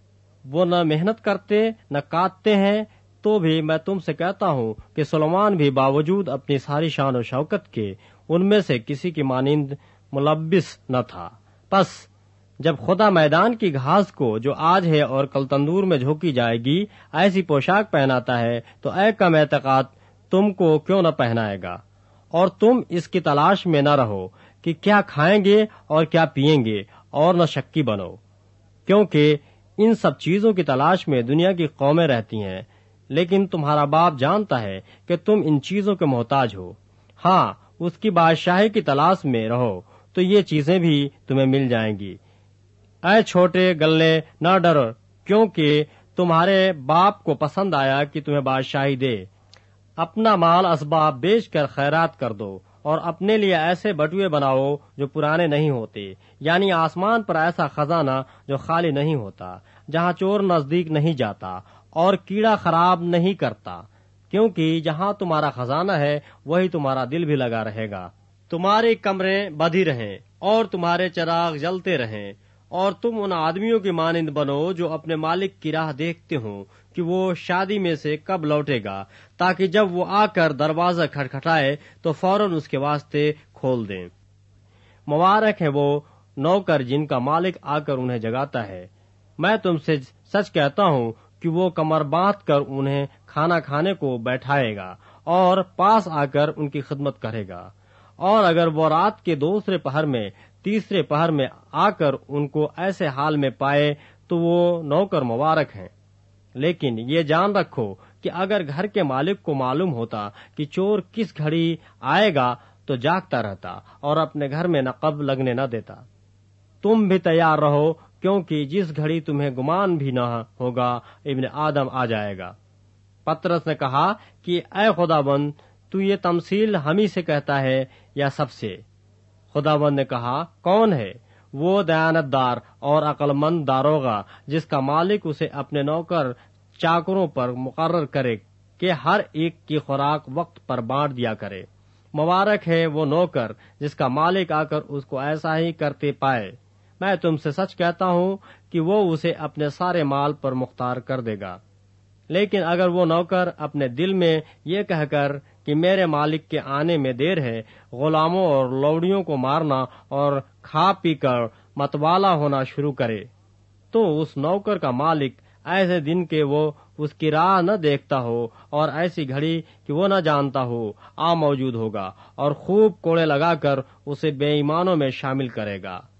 और वो नौकर जिसने अपने मालिक की मर्ज़ी जान ली और तैयारी न की, न उसकी मर्ज़ी के मुआफिक अमल किया, बहुत मार खाएगा। मगर जिसने न जानकर मार खाने के काम किए, वो थोड़ी मार खाएगा, और जिसे बहुत दिया गया, उससे बहुत तलब किया जाएगा, और जिसे बहुत सौंपा गया है, उससे ज़्यादा मांगेंगे। मैं ज़मीन पर आग लगाने आया हूँ, और अगर लग चुकी होती तो मैं क्या ही खुश होता। लेकिन मुझे एक बपतिस्मा लेना है, और जब तक वो न हो ले, मैं क्या ही तंग रहूँगा क्या तुम गुमान करते हो कि मैं ज़मीन पर सुलह कराने आया हूँ? मैं तुमसे कहता हूँ कि नहीं, बल्कि जुदाई कराने। क्योंकि अब से एक घर के पाँच आदमी आपस में मुखालफत रखेंगे। दो से तीन और तीन से दो। बाप बेटे से मुखालफत रखेगा और बेटा बाप से, माँ बेटी से और बेटी माँ से, सास बहू से और बहू सास से। फिर उसने लोगों से भी कहा कि जब बादल को पश्चिम से उठते देखते हो तो फ़ौरन कहते हो कि मैं बरसेगा, और ऐसा ही होता है। और जब तुम मालूम करते हो कि देखना चल रही है तो कहते हो कि लू चलेगी, और ऐसा ही होता है। अरे आकारो, ज़मीन और आसमान की सूरत में तो इम्तियाज़ करना तुम्हें आता है, लेकिन इस जमाने की बाबत इम्तियाज़ करना क्यों नहीं आता? और तुम अपने आप ही क्यों फैसला नहीं कर लेते कि वाजिब क्या है? जब तू अपने मुद्दई के साथ हाकिम के पास जा रहा है तो राह में कोशिश कर कि उससे छूट जाए। ऐसा न हो कि वो तुझको मुंसिफ के पास खींच ले जाए और मुंसिफ तुझको सिपाही के हवाले करे और सिपाही तुझे कैद में डाले। मैं तुझसे कहता हूँ कि जब तक तू दमड़ी दमड़ी अदा न करेगा, वहाँ से हरगिज न छूटेगा। बाप तेरह उस वक्त बाज लोग हाजिर थे। जिन्होंने उसे उन गलीलियों की खबर दी जिनका खून पिलातुस ने उनके जबीहों के साथ मिलाया था, उसने जवाब में उनसे कहा कि इन गलीलियों ने जो ऐसा दुख पाया, क्या वो इसलिए तुम्हारी दानिस्त में और सब गलीलियों से ज़्यादा गुनाहगार थे? मैं तुमसे कहता हूँ कि नहीं, बल्कि अगर तुम तौबा न करोगे तो सब इसी तरह हलाक होगे। या क्या वो अठारह आदमी जिन पर शिलोख का बुर्ज गिरा और दब कर मर गए। तुम्हारी दानिस्त में यरूशलेम के और सब रहने वालों से ज़्यादा कसूरवार थे। मैं तुमसे कहता हूँ कि नहीं, बल्कि अगर तुम तौबा न करोगे तो सब इसी तरह हलाक होगे। फिर उसने ये तमसील कही कि किसी के ताकिस्तान में एक इंजीर का दरख्त लगा हुआ था। वो उसमें फल ढूँढने आया और न पाया। इस पर उसने बागवान से कहा कि देख, तीन बरस से मैं इस इंजीर के दरख्त में फल ढूँढने आता हूँ और नहीं पाता। इसे काट डाल। ये ज़मीन को भी क्योंकि रोके रहे।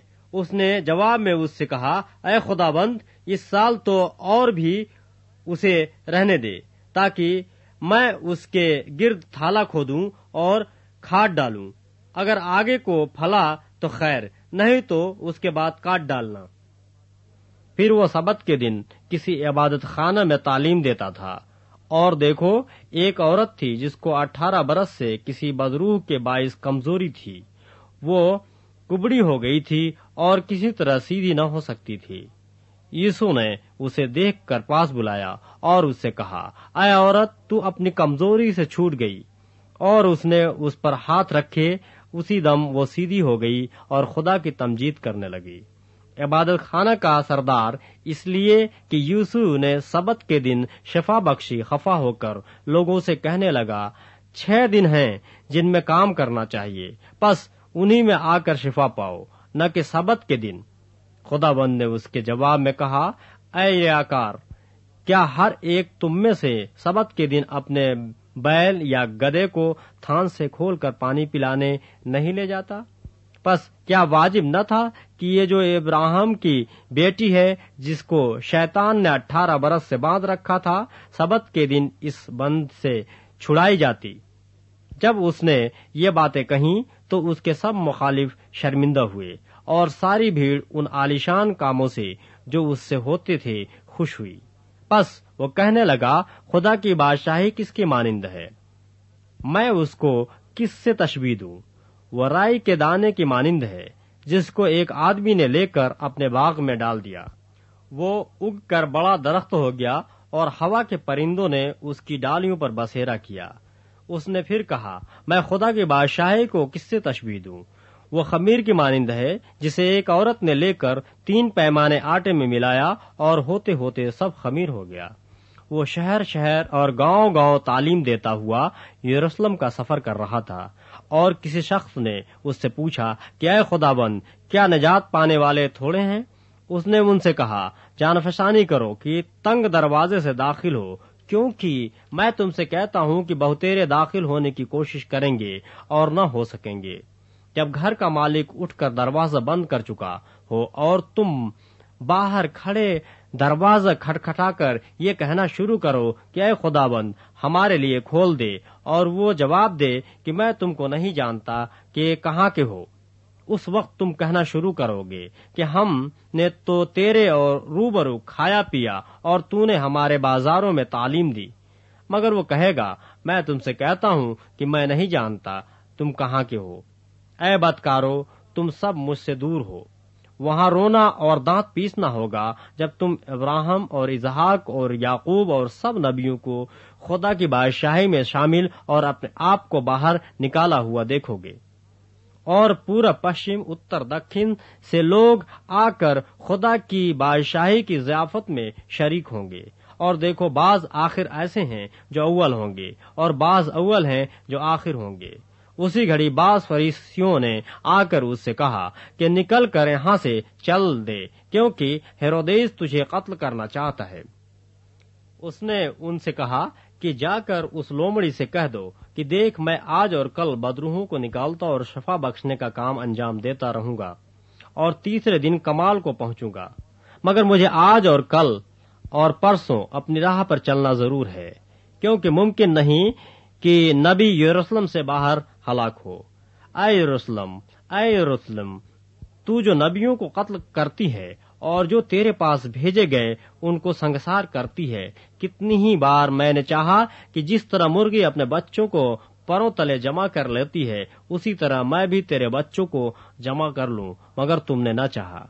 देखो, तुम्हारा घर तुम्हारे ही लिए छोड़ा जाता है, और मैं तुमसे कहता हूँ कि मुझको उस वक्त तक हरगिज न देखोगे, जब तक न कहोगे कि मुबारक है वो जो खुदाबंद के नाम से आता है। बाप चौदह। फिर ऐसा हुआ कि वह सबत के दिन फरीसियों के सरदारों में से किसी के घर खाना खाने को गया, और वो उसकी ताक में रहे, और देखो एक शख्स उसके सामने था जिसे जलंधर था। यीशु ने शरह के आलिमों और फरीसियों से कहा कि सबत के दिन शफा बख्शना रवा है या नहीं। वो चुप रह गए। उसने उसे हाथ लगाकर शफा बख्शी और रुखसत किया, और उनसे कहा, तुम में ऐसा कौन है जिसका गधा या बैल कुएँ में गिर पड़े और वो सबत के दिन उसको फ़ौरन न निकाल ले। वो इन बातों का जवाब न दे सके। जब उसने देखा कि मेहमान सदर जगह किस तरह पसंद करते हैं तो उनसे एक तमसील कही कि जब कोई तुझे शादी में बुलाए तो सदर जगह पर न बैठ, कि शायद उसने किसी तुझसे भी ज़्यादा इज्जतदार को बुलाया हो। और जिसने तुझे और उसे दोनों को बुलाया है, आकर तुझसे कहे, इसको जगह दे। फिर तुझे शर्मिंदा होकर सबसे नीचे बैठना पड़े। बल्कि जब तू बुलाया जाए तो सबसे नीचे जगह जा बैठ, ताकि जब तेरा बुलाने वाला आए तो तुझसे कहे कि अय दोस्त, आगे बढ़कर बैठ। तब उन सब की नज़रें जो तेरे साथ खाना खाने बैठे हैं, तेरी इज़्ज़त होगी। क्योंकि जो कोई अपने आप को बड़ा बनाएगा, वो छोटा किया जाएगा, और जो अपने आप को छोटा बनाएगा, वो बड़ा किया जाएगा। फिर उसने अपने बुलाने वाले से भी ये कहा कि जब तू दिन का या रात का खाना तैयार करे तो अपने दोस्तों या भाइयों या रिश्तेदारों या दौलतमंद पड़ोसियों को न बुला, ताकि ऐसा न हो कि वो भी तुझे बुलाएँ और तेरा बदला हो जाए। बल्कि जब तू जियाफत करे तो गरीबों, लुंजों, लंगड़ों, अंधों को बुला, और तुझ पर बरकत होगी, क्योंकि उनके पास तुझे बदला देने को कुछ नहीं, और तुझे रास्तबाजों की कामत में बदला मिलेगा। जो उसके साथ खाना खाने बैठे थे, उनमें से एक ने ये बात सुनकर उससे कहा, मुबारक है वो जो खुदा की बादशाही में खाना खाए। उसने उससे कहा एक शख्स ने बड़ी जियाफत की और बहुत से लोगों को बुलाया और खाने के वक्त अपने नौकर को भेजा कि बुलाए हुओं से कहे, आओ, अब खाना तैयार है। इस पर सबने मिलकर उज्र करना शुरू किया। पहले ने उससे कहा कि मैंने खेत खरीदा है, मुझे ज़रूर है कि जाकर उसे देखूँ। मैं तेरी मिन्नत करता हूँ, मुझे माजूर रख। दूसरे ने कहा मैंने पाँच जोड़ी बैल खरीदे हैं और उन्हें आजमाने जाता हूँ। मैं तेरी मिन्नत करता हूँ, मुझे माजूर रख। एक और ने कहा, मैंने ब्याह किया है और इस सबब से नहीं आ सकता। बस उस नौकर ने आकर अपने मालिक को इन बातों की खबर दी। इस पर घर के मालिक ने गुस्से होकर अपने नौकर से कहा, जल्द शहर के बाजारों और कूचों में जाकर गरीबों लुंजों अंधों और लंगड़ों को यहाँ ले आओ। नौकर ने कहा ए खुदाबंद, जैसा तूने फरमाया था, वैसा ही हुआ, और अब भी जगह है।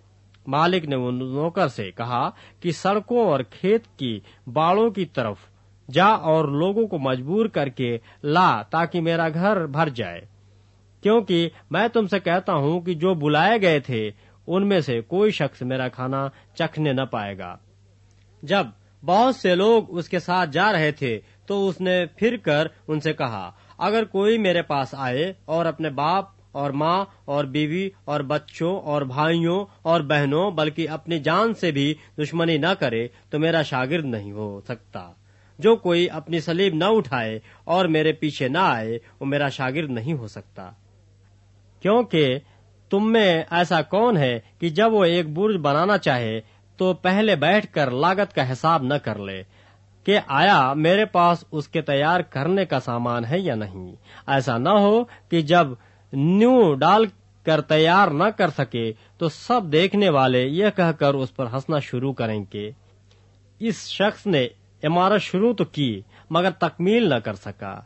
या कौन ऐसा बादशाह है जो दूसरे बादशाह से लड़ने जाता हो और पहले बैठकर मशवरा न कर ले कि आया मैं दस हज़ार से उसका मुकाबला कर सकता हूँ या नहीं? जो बीस हज़ार लेकर मुझ पर चढ़ा आता है। नहीं तो जब वो हनूस दूर ही है, एलची भेजकर शराय सुलह की और दरखास्त करेगा। बस, इसी तरह तुम में से जो कोई अपना सब कुछ तर्क न करे, वो मेरा शागिर्द नहीं हो सकता। नमक अच्छा तो है, लेकिन अगर नमक का मज़ा जाता रहे तो वो किस चीज़ से मज़ेदार किया जाएगा? न वो ज़मीन के काम का रहा, न खाद के। लोग उसे बाहर फेंक देते हैं, जिसके कान सुनने के हों, वो सुन ले। बाप पंद्रह। सब महसूल लेने वाले और गुनाहगार उसके पास आते थे, ताकि उसकी बातें सुने, और फरीसी और फकीब बड़बड़ा कर कहने लगे कि यह आदमी गुनहगारों से मिलता और उनके साथ खाना खाता है। उसने उनसे ये तमसील कही कि, तुम में कौन ऐसा आदमी है जिसके पास सौ भेड़े हों और उनमें से एक खो जाए तो निन्यानवे को बयाबान में छोड़कर उस खोई हुई को जब तक मिल न जाए, ढूंढता न रहे। फिर जब मिल जाती है तो वो खुश होकर उसे कंधे पर उठा लेता है और घर पहुंचकर दोस्तों और पड़ोसियों को बुलाता और कहता है, मेरे साथ खुशी करो, क्योंकि मेरी खोई हुई भेड़ मिल गई। मैं तुमसे कहता हूँ कि इसी तरह निन्यानवे रास्तबाजों की निस्बत, जो तोबा की हाजत नहीं रखते एक तोबा करने वाले गुनाहगार के बाईस आसमान पर ज़्यादा खुशी होगी। या कौन ऐसी औरत है जिसके पास दस दिरहम हो और एक खो जाए तो वो चिराग जलाकर घर में झाड़ू न दे और जब तक मिल न जाए कोशिश से ढूंढती न रहे। और जब मिल जाए तो अपने दोस्तों और पड़ोसनों को बुलाकर न कहे कि मेरे साथ खुशी करो, क्योंकि मेरा खोया हुआ दिरहम मिल गया।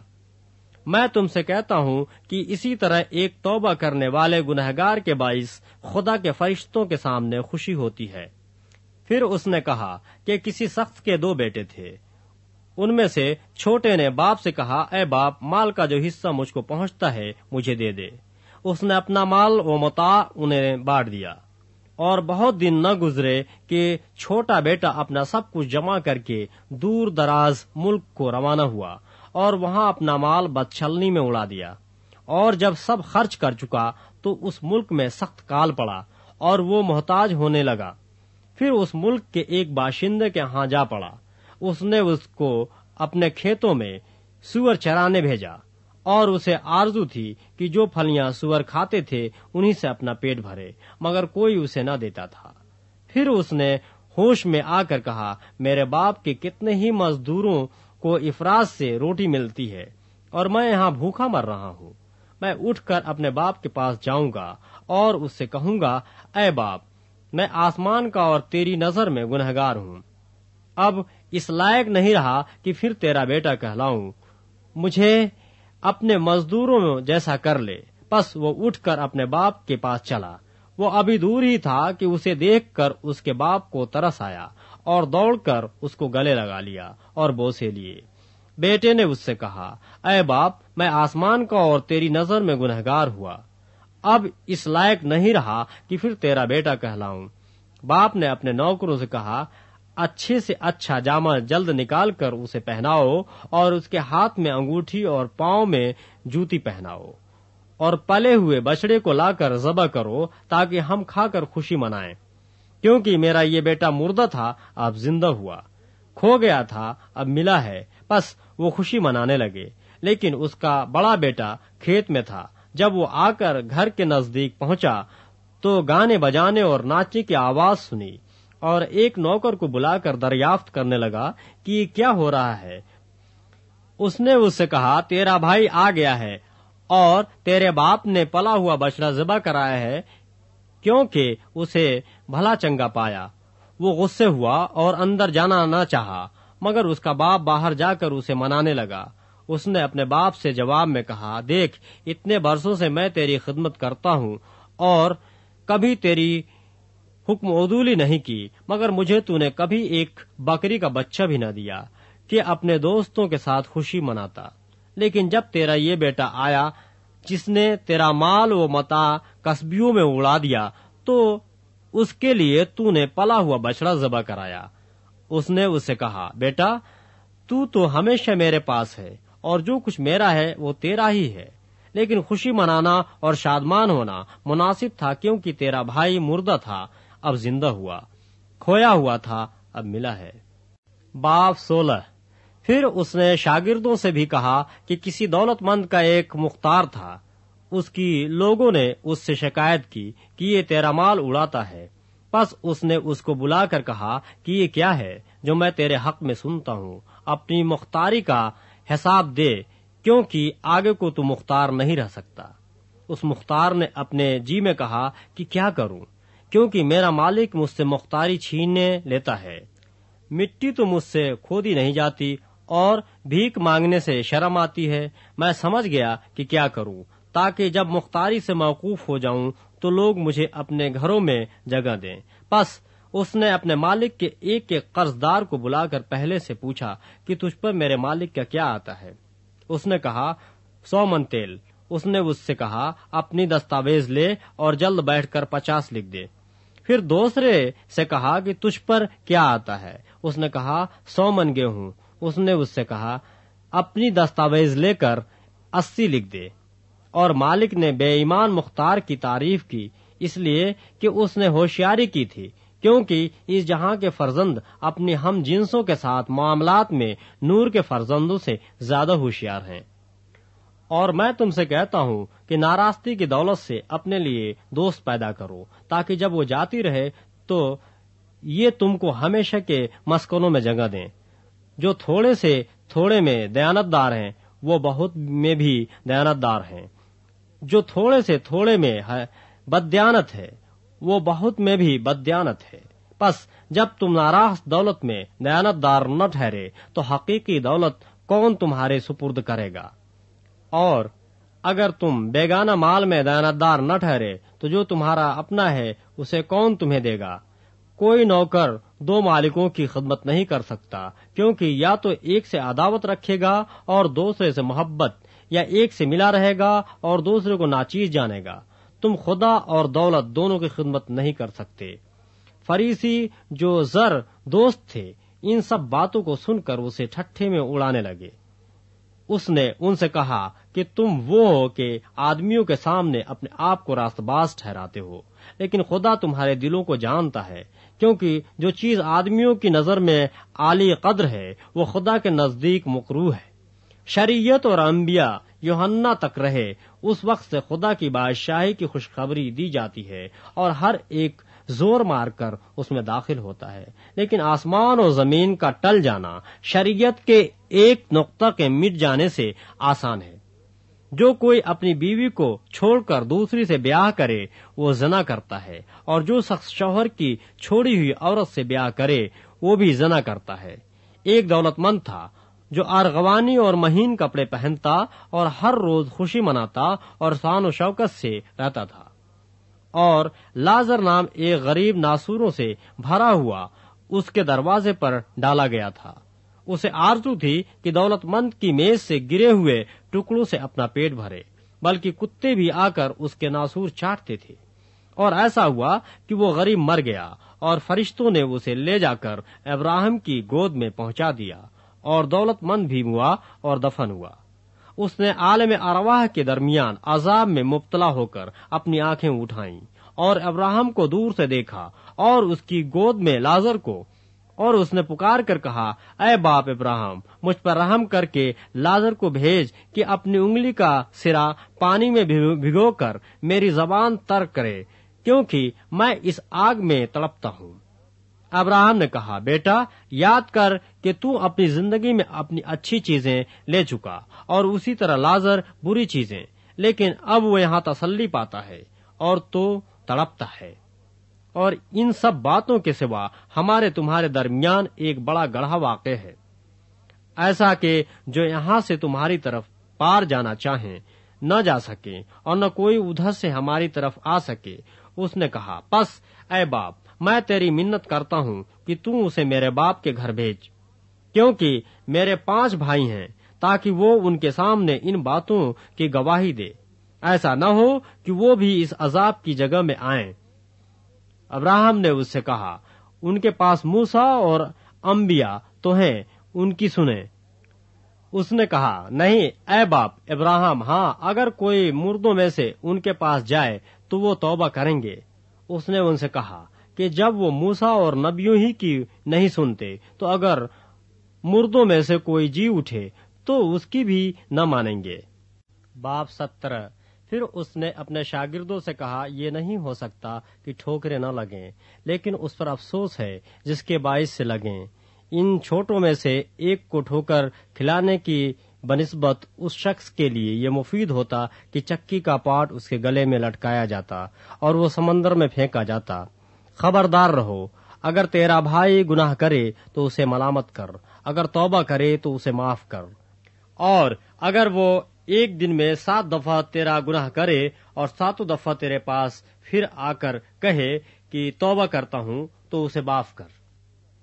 इस पर रसूलों ने खुदाबंद से कहा, हमारे ईमान को बढ़ा। खुदाबंद ने कहा कि अगर तुम में राई के दाने के बराबर भी ईमान होता और तुम इस तूत के दरख्त से कहते कि जड़ से उखड़कर समंदर में जा लग तो तुम्हारी मानता। मगर तुम में से ऐसा कौन है जिसका नौकर हल जोतता या गल्लाबानी करता हुआ, और जब वो खेत से आए तो उससे कहे कि जल्द आकर खाना खाने बैठ, और ये न कहे कि मेरा खाना तैयार कर, और जब तक मैं खाऊं पीऊं, कमर बात कर मेरी खिदमत कर, उसके बाद तू खुद खा पी लेना। क्या वो इसलिए उस नौकर का एहसान मानेगा कि उसने उन बातों की जिनका हुक्म हुआ तामील की? इसी तरह तुम भी जब उन सब बातों की जिनका तुम्हें हुक्म हुआ तामील कर, चुको तो कहो कि हम निकम्मे नौकर हैं, जो हम पर करना फ़र्ज़ था, वही किया है। और ऐसा हुआ कि यरूशलेम को जाते हुए वो सामरिया और गलील के बीच से होकर जा रहा था। और एक गाँव में दाखिल होते वक्त दस कोड़ी उसको मिले। उन्होंने दूर खड़े होकर बुलंद आवाज़ से कहा अय यीशु अय साहब, हम पर रहम कर। उसने उन्हें देख कर कहा, जाओ, अपने तई काहिनों को दिखाओ। और ऐसा हुआ कि वो जाते जाते पाक साफ़ हो गए। फिर उनमें से एक ये देखकर कि मैं शफा पा गया। बुलंद आवाज़ से खुदा की तमजीद करता हुआ लौटा। और मुँह के बल यीशु के पाँव पर गिरकर उसका शुक्र करने लगा, और वो सामरी था। यीशु ने जवाब में कहा, क्या दसों पाक साफ़ न हुए? फिर वो नौ कहाँ हैं? क्या इस परदेसी के सिवा और न निकले जो लौट कर खुदा की तमजीद करते? फिर उससे कहा उठ कर चला जा, तेरे ईमान ने तुझे अच्छा किया है। जब फरीसियों ने उससे पूछा कि खुदा की बादशाही कब आएगी तो उसने जवाब में उनसे कहा कि खुदा की बादशाही जाहिरी तौर पर न आएगी और लोग ये न कहेंगे कि देखो यहाँ है या वहाँ है, क्योंकि देखो खुदा की बादशाही तुम्हारे दरमियान है। उसने शागिर्दों से कहा, वो दिन आएँगे कि तुमको इब्न आदम के दिनों में से एक दिन को देखने की आरज़ू होगी और न देखोगे, और लोग तुमसे कहेंगे कि देखो वहाँ है या देखो यहाँ है, मगर तुम चले न जाना, न उनके पीछे हो लेना। क्योंकि जैसे बिजली आसमान की एक तरफ़ से कौद कर दूसरी तरफ़ चमकती है, वैसे ही इब्न आदम अपने दिन में ज़ाहिर होगा। लेकिन पहले ज़रूर है कि वो बहुत दुख उठाए और इस जमाने के लोग उसे रद्द करें। और जैसा नूह के दिनों में हुआ था, उसी तरह इब्न आदम के दिनों में भी होगा। के लोग खाते पीते थे और उनमें ब्याह शादी होती थी, उस दिन तक जब नूह कश्ती में दाखिल हुआ और तूफ़ान ने आकर सबको हलाक किया।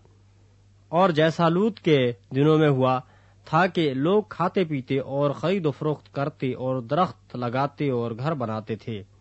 लेकिन जिस दिन लूत सदूम से निकला, आग और गंधक ने आसमान से बरस कर सबको हलाक किया। इब्न आदम के ज़ाहिर होने के दिन भी ऐसा ही होगा। उस दिन जो कोठे पर हो और उसका असबाब घर में हो, वो उसे लेने को न उतरे और इसी तरह जो खेत में हो, वो पीछे को न लौटे। लूत की बीवी को याद रखो। जो कोई अपनी जान बचाने की कोशिश करे, वो उसे खोएगा, और जो कोई उसे खोए, वो उसको ज़िंदा रखेगा। मैं तुमसे कहता हूँ कि उस रात दो आदमी एक चारपाई पर सोते होंगे। एक ले लिया जाएगा और दूसरा छोड़ दिया जाएगा। दो औरतें एक साथ चक्की पीसती होंगी, एक ले ली जाएगी और दूसरी छोड़ दी जाएगी। दो आदमी खेत में होंगे एक ले लिया जाएगा और दूसरा छोड़ दिया जाएगा। उन्होंने जवाब में उससे कहा कि अय खुदाबंद, ये कहाँ होगा? उसने उनसे कहा, जहाँ मुर्दार है, वहाँ गिद्ध भी जमा होंगे। बाब अठारह। फिर उसने इस गरज से कि हर वक्त दुआ करते रहना और हिम्मत न हारना चाहिए, उनसे ये तमसील कही के, किसी शहर में एक काजी था, न वो खुदा से डरता, न आदमी की कुछ परवाह करता था। और उसी शहर में एक बेवा थी जो उसके पास आकर ये कहा करती थी कि मेरा इंसाफ करके मुझे मुद्दई से बचा। उसने कुछ अरसा तक तो न चाहा, लेकिन आखिर उसने अपने जी में कहा कि, गो, मैं न खुदा से डरता और न आदमियों की कुछ परवाह करता हूँ तो भी इसलिए कि ये बेवा मुझे सताती है, मैं इसका इंसाफ करूँगा। ऐसा न हो कि ये बार बार आकर आखिर को मेरा नाक में दम करे। खुदाबंद ने कहा, सुनो, ये बेइंसाफ काजी क्या कहता है? बस क्या खुदा अपने बुरगजीदों का इंसाफ न करेगा, जो रात दिन उससे फरियाद करते हैं? और क्या वो उनके बारे में देर करेगा? मैं तुमसे कहता हूँ कि वो जल्द उनका इंसाफ करेगा। तो भी जब इब्न आदम आएगा तो क्या ज़मीन पर ईमान पाएगा? फिर उसने बाज लोगों से जो अपने पर भरोसा रखते थे कि हम रास्तबाज हैं और बाकी आदमियों को नाचीज जानते थे, ये तमसील कही। कि दो शख्स हैकल में दुआ करने गए, एक फरीसी, दूसरा महसूल लेने वाला। फरीसी खड़ा होकर अपने जी में ये दुआ करने लगा कि अय खुदा, मैं तेरा शुक्र करता हूँ कि बाकी आदमियों की तरह जालिम, बेइंसाफ, जनाकार या इस महसूल लेने वाले की मानंद नहीं हूँ। मैं हफ़्ता में दो बार रोजा रखता और अपनी सारी आमदनी पर दह एक ही देता हूँ। लेकिन महसूल लेने वाले ने दूर खड़े होकर इतना भी न चाहा कि आसमान की तरफ़ आँख उठाए, बल्कि छाती पीट पीट कर कहा अय खुदा, मुझ गुनाहगार पर रहम कर। मैं तुमसे कहता हूँ कि ये शख्स दूसरे की निस्बत रास्तबाज ठहर कर अपने घर गया, क्योंकि जो कोई अपने आप को बड़ा बनाएगा वो छोटा किया जाएगा और जो अपने आप को छोटा बनाएगा, वो बड़ा किया जाएगा। फिर लोग अपने छोटे बच्चों को भी उसके पास लाने लगे, ताकि वो उनको छुए और शागिर्दों ने देखकर उनको झिड़का। मगर यीशु ने बच्चों को अपने पास बुलाया और कहा, बच्चों को मेरे पास आने दो और उन्हें मना न करो, क्योंकि खुदा की बादशाही ऐसू ही की है। मैं तुमसे सच कहता हूँ कि जो कोई खुदा की बादशाही को बच्चे की तरह कबूल न करे, वो उसमें हरगिज दाखिल न होगा। फिर किसी सरदार ने उससे ये सवाल किया कि ए नेक उस्ताद, मैं क्या करूँ ताकि हमेशा की ज़िंदगी का वारिस बनूं? यीशु ने उससे कहा, तू मुझे क्यों नेक कहता है? कोई नेक नहीं, मगर एक यानी खुदा। तू हुक्मों को तो जानता है, सेना न कर, खून न कर, चोरी न कर, झूठी गवाही न दे अपने बाप की और माँ की इज़्ज़त कर। उसने कहा, मैंने लड़कपन से इन सब पर अमल किया है। यीशु ने यह सुनकर उससे कहा, अभी तक तुझमें एक बात की कमी है। अपना सब कुछ बेचकर गरीबों को बांट दे। तुझे आसमान पर खजाना मिलेगा और आकर मेरे पीछे हो ले। ये सुनकर वो बहुत गमगीन हुआ, क्योंकि बड़ा दौलतमंद था। यीशु ने उसको देख कर कहा कि दौलतमंदों का खुदा की बादशाही में दाखिल होना कैसा मुश्किल है। क्योंकि ऊट का सुई के नाके में से निकल जाना इससे आसान है कि दौलतमंद खुदा की बादशाही में दाखिल हो। सुनने वालों ने कहा तो फिर कौन निजात पा सकता है? उसने कहा, जो इंसान से नहीं हो सकता, वो खुदा से हो सकता है। पत्रस ने कहा, देख, हम तो अपना घर बार छोड़कर तेरे पीछे हो लिए हैं। उसने उनसे कहा मैं तुमसे सच कहता हूँ कि ऐसा कोई नहीं जिसने घर या बीवी या भाइयों या माँ बाप या बच्चों को खुदा की बादशाही की खातिर छोड़ दिया हो।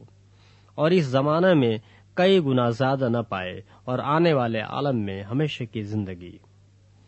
फिर उसने उन बारह को साथ लेकर उनसे कहा कि देखो हम यरूशलेम को जाते हैं और जितनी बातें नबियों की मार्फत लिखी गई हैं, इब्न आदम के हक में पूरी होंगी। क्योंकि वो गैर कौम वालों के हवाले किया जाएगा और लोग उसको ठट्ठों में उड़ाएँगे और बेइज्जत करेंगे और उस पर थूकेंगे और उसको कोड़े मारेंगे और कत्ल करेंगे और वो तीसरे दिन जी उठेगा। लेकिन उन्होंने इनमें से कोई बात न समझी और यह कौल उन पर पोशीदा रहा और इन बातों का मतलब उनकी समझ में न आया। जब वो चलते चलते यूरोह के नज़दीक पहुँचा तो ऐसा हुआ कि एक अंधा राह के किनारे बैठा हुआ भीख मांग रहा था। वो भीड़ के जाने की आवाज़ सुनकर पूछने लगा कि ये क्या हो रहा है? उन्होंने उसे खबर दी कि यीशु नासरी जा रहा है। उसने चिल्लाकर कहा, अय यीशु इब्न दाऊद, मुझ पर रहम कर। जो आगे जाते थे, वो उसको डांटने लगे कि चुप रहे, मगर वो और भी चिल्लाया कि, अय इब्न दाऊद, मुझ पर रहम कर। यीशु ने खड़े होकर हुक्म दिया कि उसको मेरे पास लाओ। जब वो नज़दीक आया तो उसने उससे ये पूछा, तू क्या चाहता है कि मैं तेरे लिए करूँ? उसने कहा अय खुदावंद ये कि मैं बीना हो जाऊँ। यीशु ने उससे कहा कि, बीना हो जा। तेरे ईमान ने तुझे अच्छा किया। वो उसी दम बीना हो गया और खुदा की तंजीद करता हुआ उसके पीछे हो लिया और सब लोगों ने देखकर खुदा की हमद की। बाब उन्नीस, वह में दाखिल होकर जा रहा था। और देखो जकाय नाम एक आदमी था जो महसूल लेने वालों का सरदार और दौलतमंद था। वह यूसु को देखने की कोशिश करता था कि कौन सा है, लेकिन भीड़ के सबब से देख न सकता था, इसलिए कि उसका कद छोटा था। बस, उसे देखने के लिए आगे दौड़कर एक गुलर के पेड़ पर चढ़ गया, क्योंकि वो उसी राह से जाने को था। जब यीशु उस जगह पहुँचा तो ऊपर निगाह करके उससे कहा अय जक्काई जल्द उतर आ क्योंकि आज मुझे तेरे घर रहना ज़रूर है। वो जल्द उतर कर उसको खुशी से अपने घर ले गया। जब लोगों ने दे, ये देखा तो सब बड़बड़ा कर कहने लगे कि वो तो एक गुनहगार शख्स के वहाँ जा उतरा। और जकाई ने खड़े होकर खुदाबंद से कहा अय खुदाबंद देख मैं अपना आधा माल गरीबों को देता हूँ और अगर किसी का कुछ नाहक ले लिया है तो उसको चौगुना अदा करता हूँ। यीशु ने उससे कहा, आज इस घर में निजात आई है, इसलिए कि यह भी इब्राहिम का बेटा है, क्योंकि इब्न आदम खोए हुए को ढूँढने और निजात देने आया है। जब वो इन बातों को सुन रहे थे तो उसने एक तमसील भी कही, इसलिए कि यरूशलेम के नज़दीक था, और वो गुमान करते थे कि खुदा की बादशाही अभी ज़ाहिर हुआ चाहती है। बस उसने कहा कि एक अमीर दूर दराज मुल्क को चला ताकि बादशाही हासिल करके फिर आए। उसने अपने नौकरों में से दस को बुलाकर उन्हें दस अशरफियाँ दी और उनसे कहा कि मेरे वापस आने तक लेन देन करना।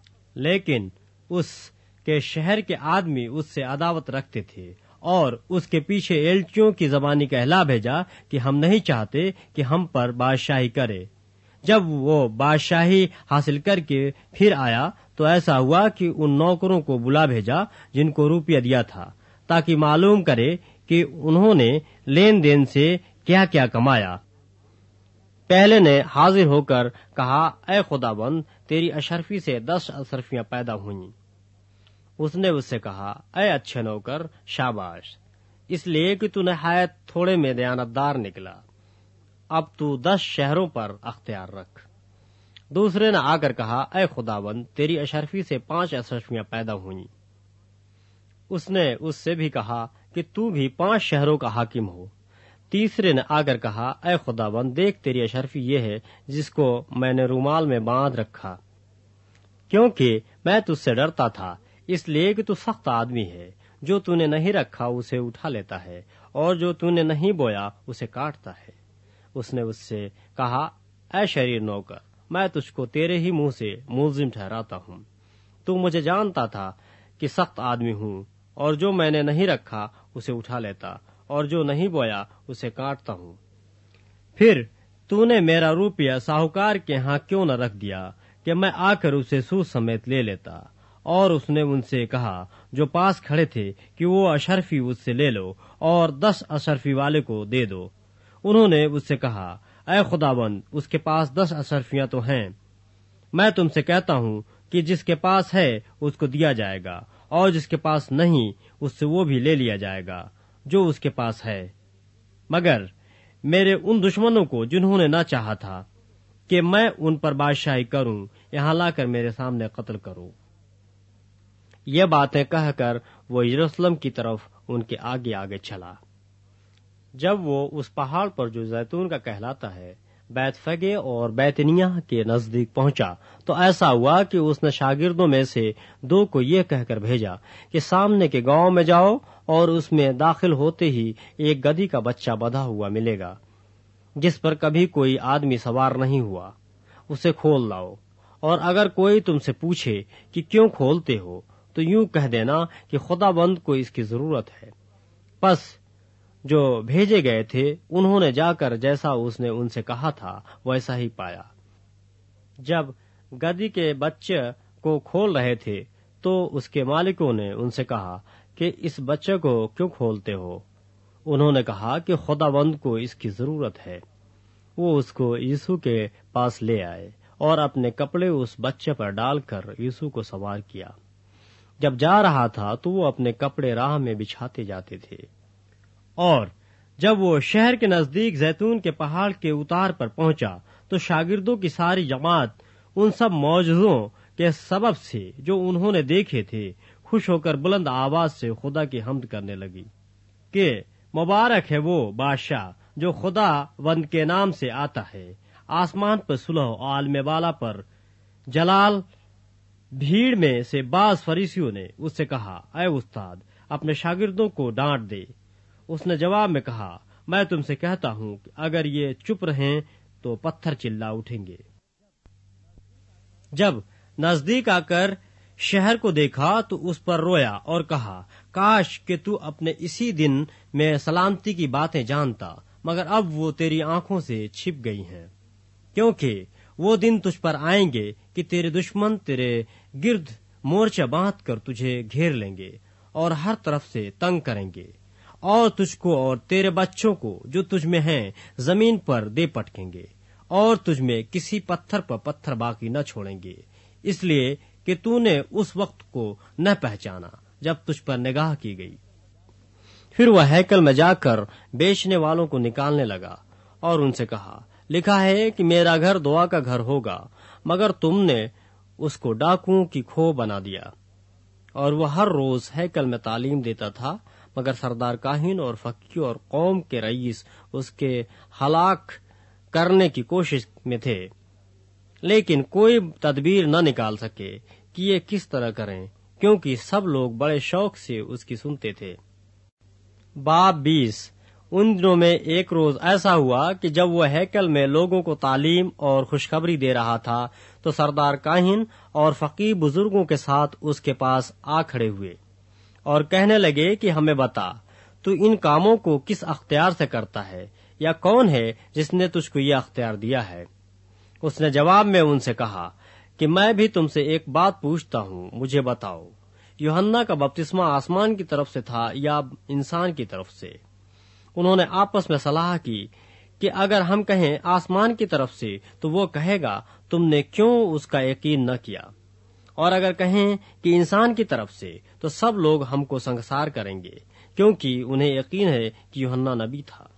बस उन्होंने जवाब दिया, हम नहीं जानते कि किसकी तरफ़ से था। यीशु ने उनसे कहा, मैं भी तुम्हें नहीं बताता कि इन कामों को किस अख्तियार से करता हूँ। फिर उसने लोगों से ये तमसील कहनी शुरू की कि एक शख्स ने पाकिस्तान लगाकर बागबानों को ठीके पर दिया। और एक बड़ी मुद्दत के लिए परदेश चला गया। और फल के मौसम पर उसने एक नौकर को बागबानों के पास भेजा ताकि वो पाकिस्तान के फल का हिस्सा उसे दें। लेकिन बागबानों ने उसको पीट कर खाली हाथ लौटा दिया। फिर उसने एक और नौकर भेजा। उन्होंने उसको भी पीट कर और बेइज्जत करके खाली हाथ लौटा दिया। फिर उसने तीसरा भेजा। उन्होंने उसको भी जख्मी करके निकाल दिया। इस पर पाकिस्तान के मालिक ने कहा कि क्या करूँ? मैं अपने प्यारे बेटे को भेजूँगा। शायद उसका लिहाज करें। जब बागबानों ने उसे देखा तो आपस में सलाह करके कहा, यही वारिस है। इसे कत्ल करें, कि मिरास हमारी हो जाए।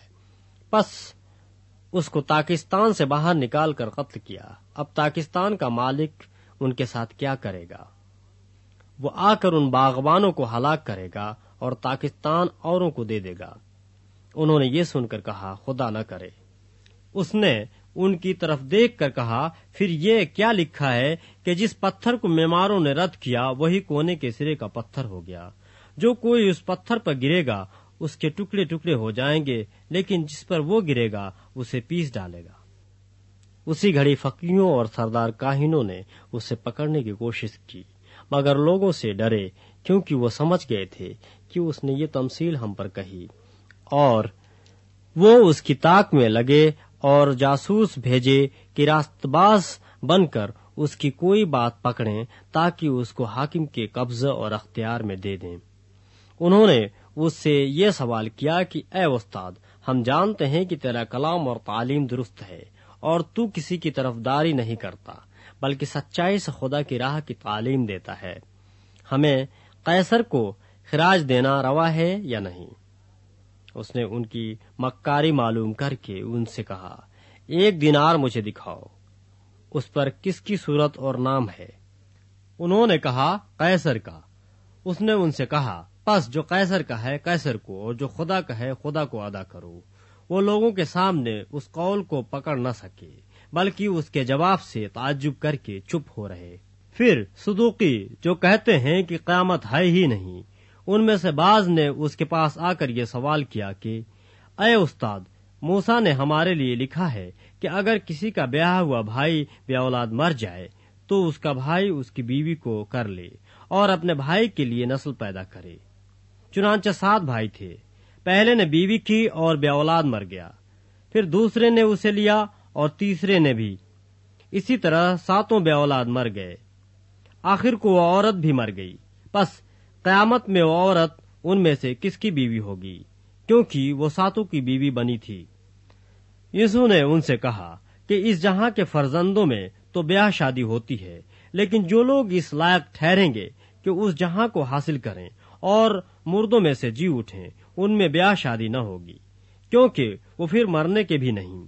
इसलिए कि फरिश्तों के बराबर होंगे और क्यामत के फर्जंद होकर खुदा के भी फर्जंद होंगे। लेकिन इस बात को कि मुर्दे जी उठते हैं, मूसा ने भी झाड़ी के ज़िक्र में ज़ाहिर किया है।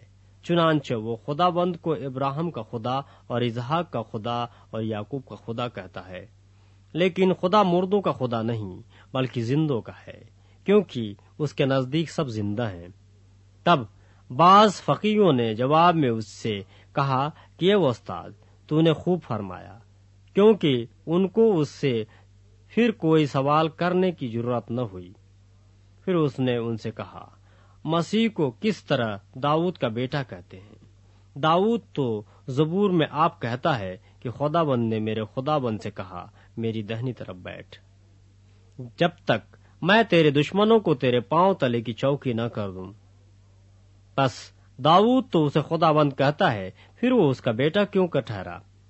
जब सब लोग सुन रहे थे तो उसने अपने शागिर्दों से कहा कि फकीरों से खबरदार रहना, जो लंबे लंबे जामे पहनकर फिरने का शौक रखते हैं और बाजारों में सलाम और इबादत खानों में आला दर्जे की कुर्सियाँ और जियाफ्तों में नशीनी पसंद करते हैं। वो बेवाओं के घरों को दबा बैठते हैं और दिखावे के लिए नमाज़ को तूल देते हैं। इन्हें ज़्यादा सजा होगी। बाब इक्कीस। फिर उसने आँख उठाकर उन दौलतमंदों को देखा जो अपनी नज़रों के रूपे हेकल के खजाने में डाल रहे थे और एक कंगाल बेवा को भी उसमें दो दमड़ियाँ डालते देखा। इस पर उसने कहा, मैं तुमसे सच कहता हूँ कि इस कंगाल बेवा ने सबसे ज़्यादा डाला, क्योंकि उन सबने तो अपने माल की बहुतात से नज़र का चंदा डाला, मगर इसने अपनी नादारी की हालत में जितनी रोजी उसके पास थी सब डाल दी। और जब बाज लोग हैकल की बाबत कह रहे थे कि वो नफीस पत्थरों और नज़र की हुई चीज़ों से आरास्त है तो उसने कहा, वो दिन आएँगे कि इन चीज़ों में से जो तुम देखते हो, यहाँ किसी पत्थर पर पत्थर बाकी न रहेगा और जो गिराया न जाए। उन्होंने उससे पूछा, क्या उस्ताद, फिर ये बातें कब होंगी? और जब वो होने को हो, उस वक्त का क्या निशान है? उसने कहा, खबरदार, गुमराह न होना, क्योंकि बहुतेरे मेरे नाम से आएँगे और कहेंगे कि वो मैं ही हूँ और ये भी कि वक्त नज़दीक आ पहुँचा है। तुम उनके पीछे न चले जाना। और जब लड़ाइयों और फसादों की अफवाहें सुनो तो घबरा न जाना, क्योंकि उनका पहले वाक्य होना ज़रूर है। लेकिन उस वक्त फ़ौरन खात्मा न होगा। फिर उसने उनसे कहा कि कौम पर कौम और सल्तनत पर सल्तनत चढ़ाई करेगी और बड़े बड़े भूचाल आएँगे और जा बजा काल और मरी पड़ेगी। और आसमान पर बड़ी बड़ी दहशतनाक बातें और निशानियाँ ज़ाहिर होंगी। लेकिन इन सब बातों से पहले वो मेरे नाम के सबब से तुम्हें पकड़ेंगे और सताएँगे और इबादत खानों की अदालत के हवाले करेंगे और कैद खानों में डलवाएँगे और बादशाहों और हाकिमों के सामने हाजिर करेंगे। और ये तुम्हारा गवाही देने का मौका होगा। बस अपने दिल में ठान रखो कि हम पहले से फ़िक्र न करें कि क्या जवाब दें। क्योंकि मैं तुम्हें ऐसी ज़ुबान और हिकमत दूँगा कि तुम्हारे किसी मुखालिफ को सामना करने या खिलाफ कहने का मकदूर न होगा। और तुम्हें माँ बाप और भाई और रिश्तेदार और दोस्त भी पकड़वाएँगे, बल्कि वो तुम में से बास को मरवा डालेंगे। और मेरे नाम के सबब से सब लोग तुमसे अदावत रखेंगे। लेकिन तुम्हारे सर का एक बाल भी बैका न होगा। अपने सब्र से तुम अपनी जाने बचाए रखोगे। फिर जब तुम यरूशलेम को फौजों से घिरा हुआ देखो तो जान लेना कि उसका उजड़ जाना नज़दीक है। उस वक्त जो यहूदिया में हो, वो पहाड़ों पर भाग जाएँ, और जो यरूशलेम के अंदर हो, बाहर निकल जाएँ, और जो देहात में हो, शहर में न जाएँ। क्योंकि ये इंतकाम के दिन होंगे, जिनमें सब बातें जो लिखी हैं पूरी हो जाएँगी। उन पर अफसोस है जो उन दिनों में हामला हो और जो दूध पिलाती हो, क्योंकि मुल्क में बड़ी मुसीबत और इस कौम पर गजब होगा। और वो तलवार का लुकमा हो जाएँगे और असीर होकर सब कौमों में पहुँचाए जाएँगे। और जब तक गैर कौमों की मियाद पूरी न हो, यरूशलेम गैर कौमों से पामाल होती रहेगी। और सूरज और चाँद और सितारों में निशान ज़ाहिर होंगे और ज़मीन पर कौमों को तकलीफ़ होगी, क्योंकि वह समंदर और उसकी लहरों के शोर से घबरा जाएँगी। और डर के मारे और ज़मीन पर आने वाली बलाओं की राह देखते देखते लोगों की जान में जान न रहेगी। इसलिए कि आसमान की कुतें हिलाई जाएँगी। उस वक्त लोग इब्न आदम को कुदरत और बड़े जलाल के साथ बादल में आते देखेंगे। और जब ये बातें होने लगे तो सीधे होकर सर ऊपर उठाना इसलिए कि तुम्हारे मुक्ति नज़दीक होगी। और उसने उनसे एक तमसील कही कि इंजीर के दरख्त और सब दरख्तों को देखो। जो ही उनमें कोपले निकलती हैं, तुम देखकर आप ही जान लेते हो कि अब गर्मी नज़दीक है। इसी तरह जब तुम इन बातों को होते देखो तो जान लो कि खुदा की बादशाही नज़दीक है। मैं तुमसे सच कहता हूँ कि जब तक ये सब बातें न हो लें ये नस्ल हरगिज तमाम न होगी। आसमान और ज़मीन टल जाएँगे, लेकिन मेरी बातें हरगिज न टलेंगी।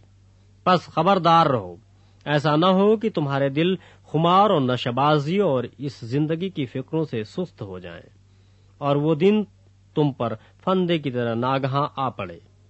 क्योंकि जितने लोग तमाम रुए ज़मीन पर मौजूद होंगे, उन सब पर वो इसी तरह आ पड़ेगा।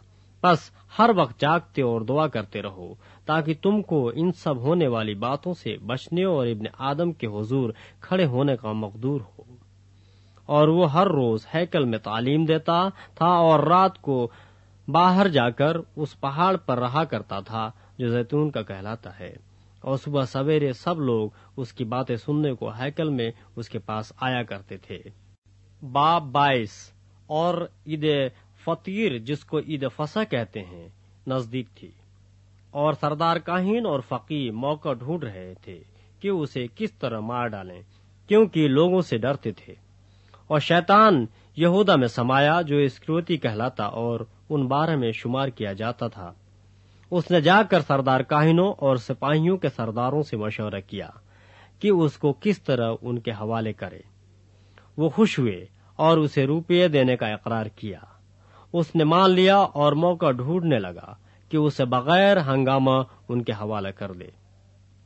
और ईद फतीर का दिन आया, जिसमें फसह जिबा करना फ़र्ज़ था। और यूसु ने पतरस और योहन्ना को ये कहकर भेजा कि जाकर हमारे खाने के लिए फसह तैयार करो। उन्होंने उससे कहा, तू कहाँ चाहता है कि हम तैयार करें? उसने उनसे कहा, देखो, शहर में दाखिल होते ही तुम्हें एक आदमी पानी का घड़ा लिए हुए मिलेगा। जिस घर में वो जाए, उसके पीछे चले जाना। और घर के मालिक से कहना कि वो उस्ताद तुझसे कहता है, वह मेहमान खाना कहाँ है जिसमें मैं अपने शागिर्दों के साथ फंसा खाऊं? वो तुम्हें एक बड़ा बाला खाना आरास्ता किया हुआ दिखाएगा, वहीं तैयारी करना। उन्होंने जाकर जैसा उसने उनसे कहा था, वैसा ही पाया और फसा तैयार किया। जब वक्त हो गया तो वह खाना खाने बैठा और रसूल उसके साथ बैठे। उसने उनसे कहा, मुझे बड़ी आरज़ू थी कि दुख सहने से पहले ये फसा तुम्हारे साथ खाऊं। क्योंकि मैं तुमसे कहता हूँ कि उसे कभी न खाऊँगा, जब तक वो खुदा की बादशाही में पूरा न हो। फिर उसने प्याला लेकर शुक्र किया और कहा कि इसको लेकर आपस में बांट लो।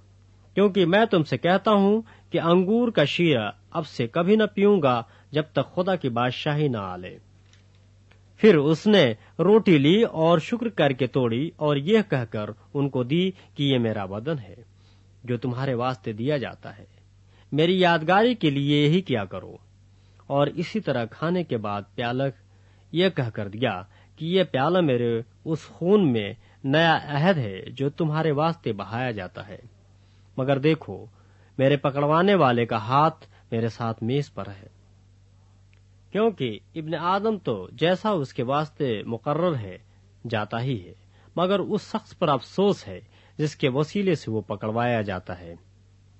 इस पर वो आपस में पूछने लगे कि हम में से कौन है जो ये काम करेगा? और उनमें ये तकरार भी हुई कि हम में से कौन बड़ा समझा जाता है। उसने उनसे कहा कि गैर कौमों के बादशाह उन पर हुकूमत चलाते हैं और जो उन पर अख्तियार रखते हैं खुदावंद नेमत कहलाते हैं। मगर तुम ऐसे न होना, बल्कि जो तुम में बड़ा है, वो छोटे की मानिंद और जो सरदार है, वो खिदमत करने वाले की मानिंद बने। क्योंकि बड़ा कौन है? वो जो खाना खाने बैठा है या वो जो खिदमत करता है? क्या वो नहीं जो खाना खाने बैठा है? लेकिन मैं तुम्हारे दरमियान खिदमत करने वाले की मानिंद हूँ। मगर तुम वो हो जो मेरी आजमाइशों में बराबर मेरे साथ रहे। और जैसे मेरे बाप ने मेरे लिए एक बादशाही मुकर्र की है, मैं भी तुम्हारे लिए मुकर्र करता हूँ, ताकि मेरी बादशाही में मेरी मेज पर खाओ पियो, बल्कि तुम तख्तों पर बैठकर इसराइल के बारह कबीलों का इंसाफ करोगे।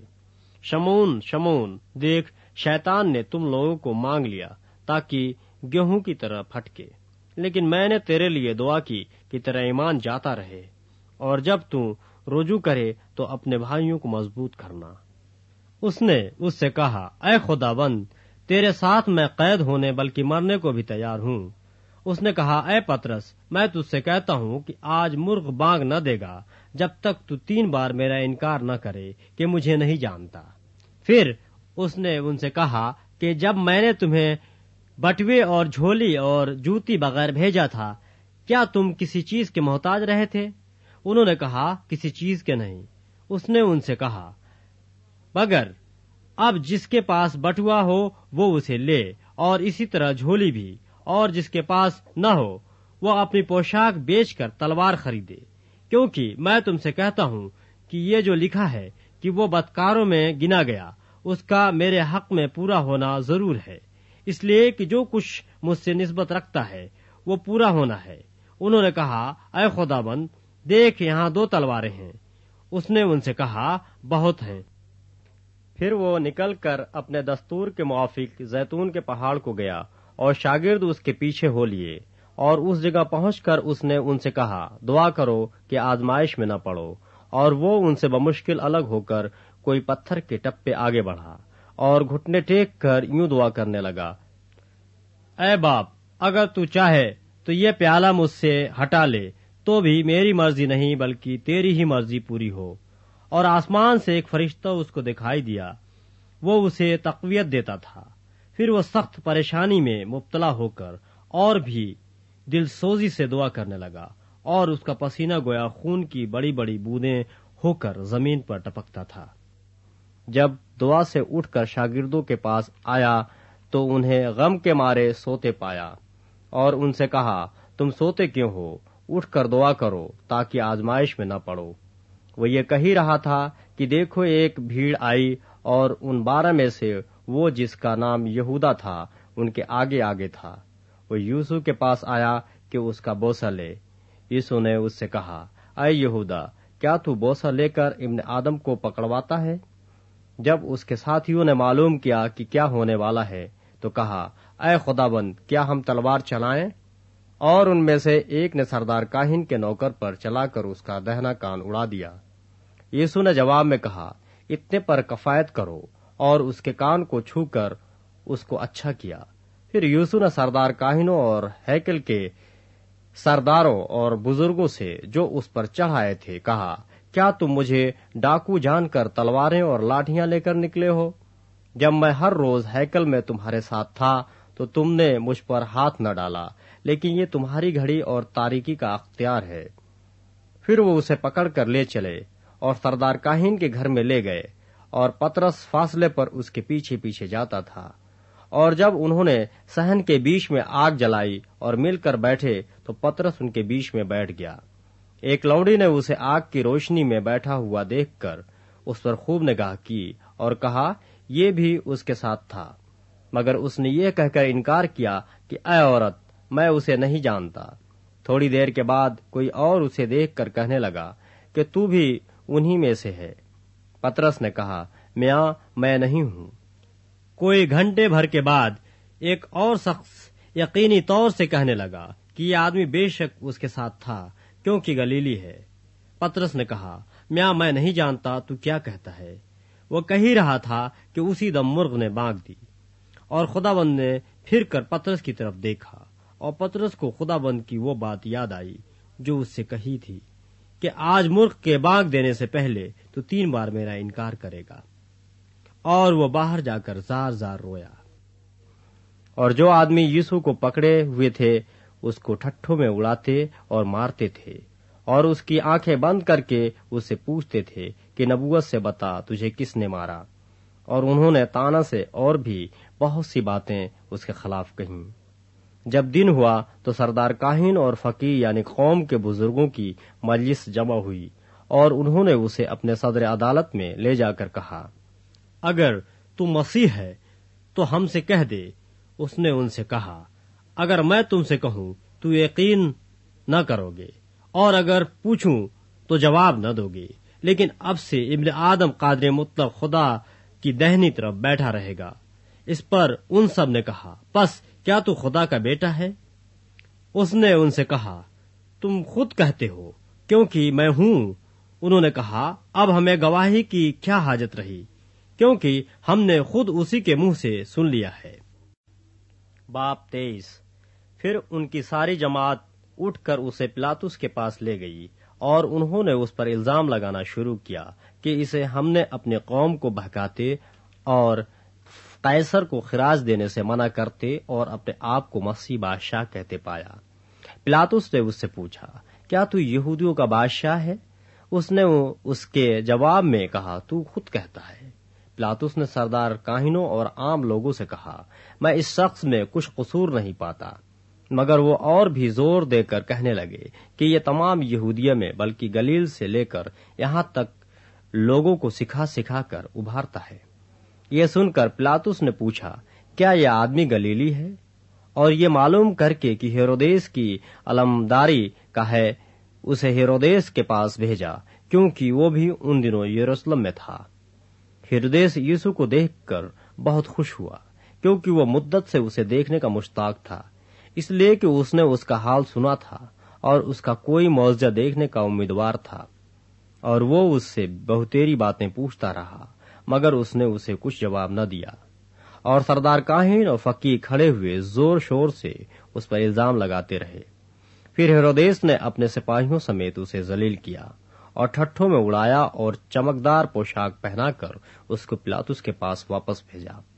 और उसी दिन हेरोदेस और प्लातुस आपस में दोस्त हो गए, क्योंकि पहले उनमें दुश्मनी थी।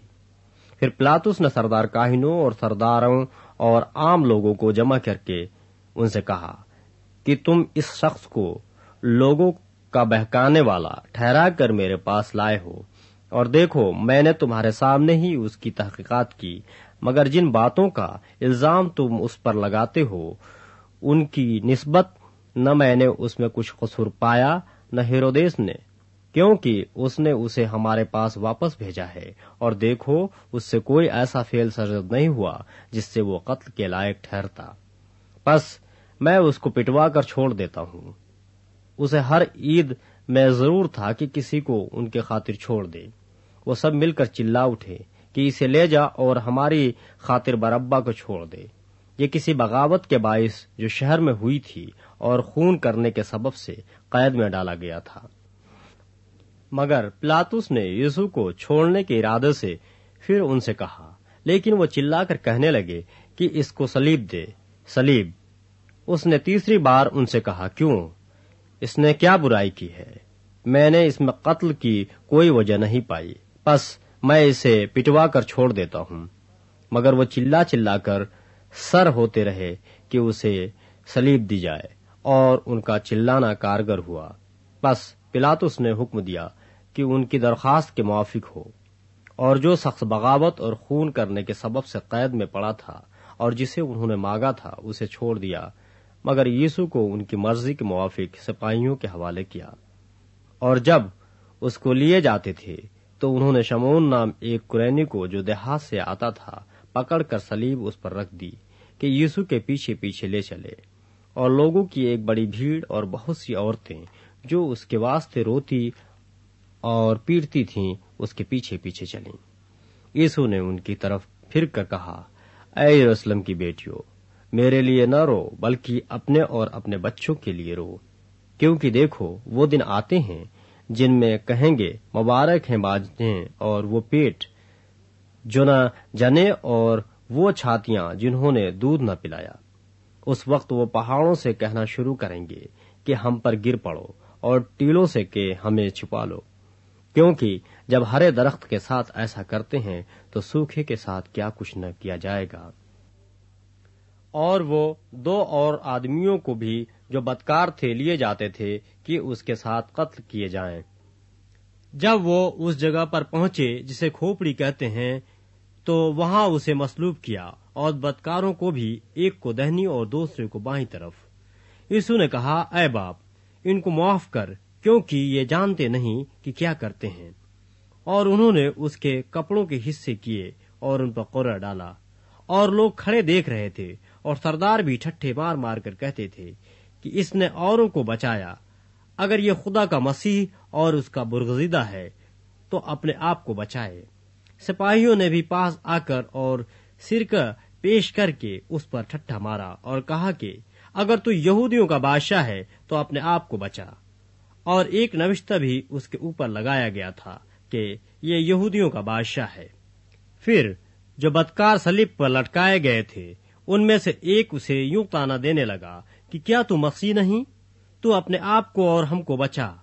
मगर दूसरे ने उसे झिड़क कर जवाब दिया कि क्या तू खुदा से भी नहीं डरता? हालाँकि उसी सजा में गिरफ़्तार है। और हमारी सजा तो वाजबी है, क्योंकि अपने कामों का बदला पा रहे हैं। लेकिन इसने कोई बेजा काम नहीं किया। फिर उसने कहा, आए यीशु, जब तू अपनी बादशाही में आए तो मुझे याद करना। उसने उससे कहा, मैं तुझसे सच कहता हूँ कि आज ही तू मेरे साथ फिरदौस में होगा। फिर दोपहर के करीब से तीसरे पहर तक तमाम मुल्क में अंधेरा छाया रहा और सूरज की रोशनी जाती रही और मुकद्दस का पर्दा बीस से फट गया। फिर यूसु ने बड़ी आवाज़ से पुकार कर कहा अय बाप, मैं अपनी रूह तेरे हाथों में सौंपता हूँ और ये कहकर दम दे दिया। यह माजरा देखकर सूबेदार ने खुदा की तमजीद की और कहा, बेशक ये आदमी रास्तबाज था। और जितने लोग इस नजारे को आए थे, ये माजरा देखकर छाती पीटते हुए लौट गए। और उसके सब जान पहचान और वो औरतें जो गलील से उसके साथ आई थीं, दूर खड़ी ये बातें देख रही थीं। और देखो, यूसुफ नाम एक शख्स मुशीर था, जो नेक और रास्तबाज आदमी था। और उनकी सलाह और काम से रजामंद न था।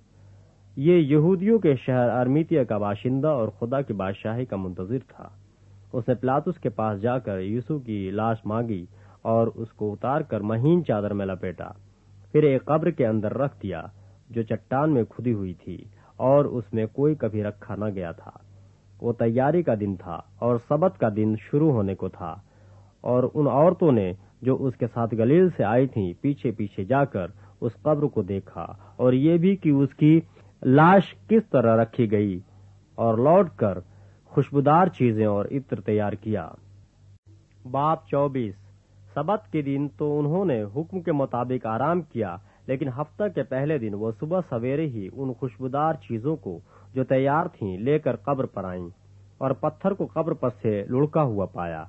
मगर अंदर जाकर खुदाबंद यीशु की लाश न पाई और ऐसा हुआ कि जब वो इस बात से हैरान थीं तो देखो दो शख्स, बुर्राक, पोशाक पहने उनके पास आ खड़े हुए।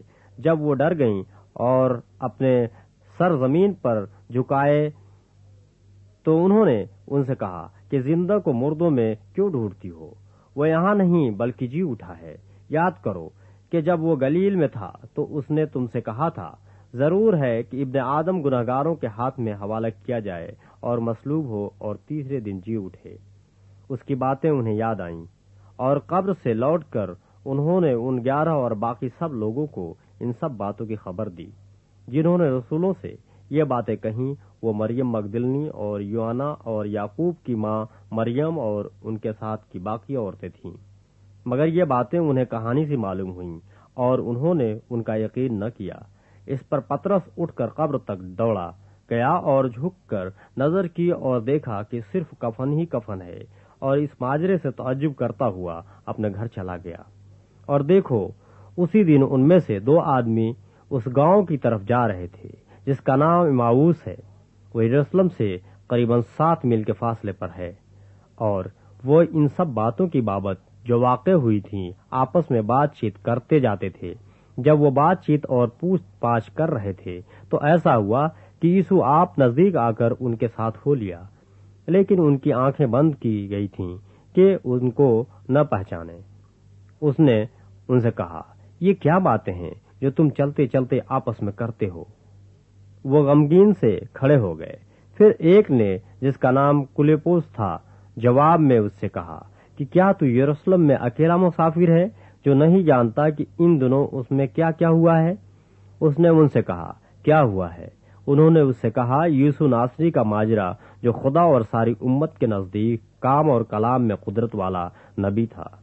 और सरदार काहिनों और हमारे हाकिमों ने उसको पकड़वा दिया, ताकि उस पर कत्ल का हुक्म दिया जाए और उसे मसलूब किया। लेकिन हमको उम्मीद थी कि इसराइल को मुखलसी यही देगा।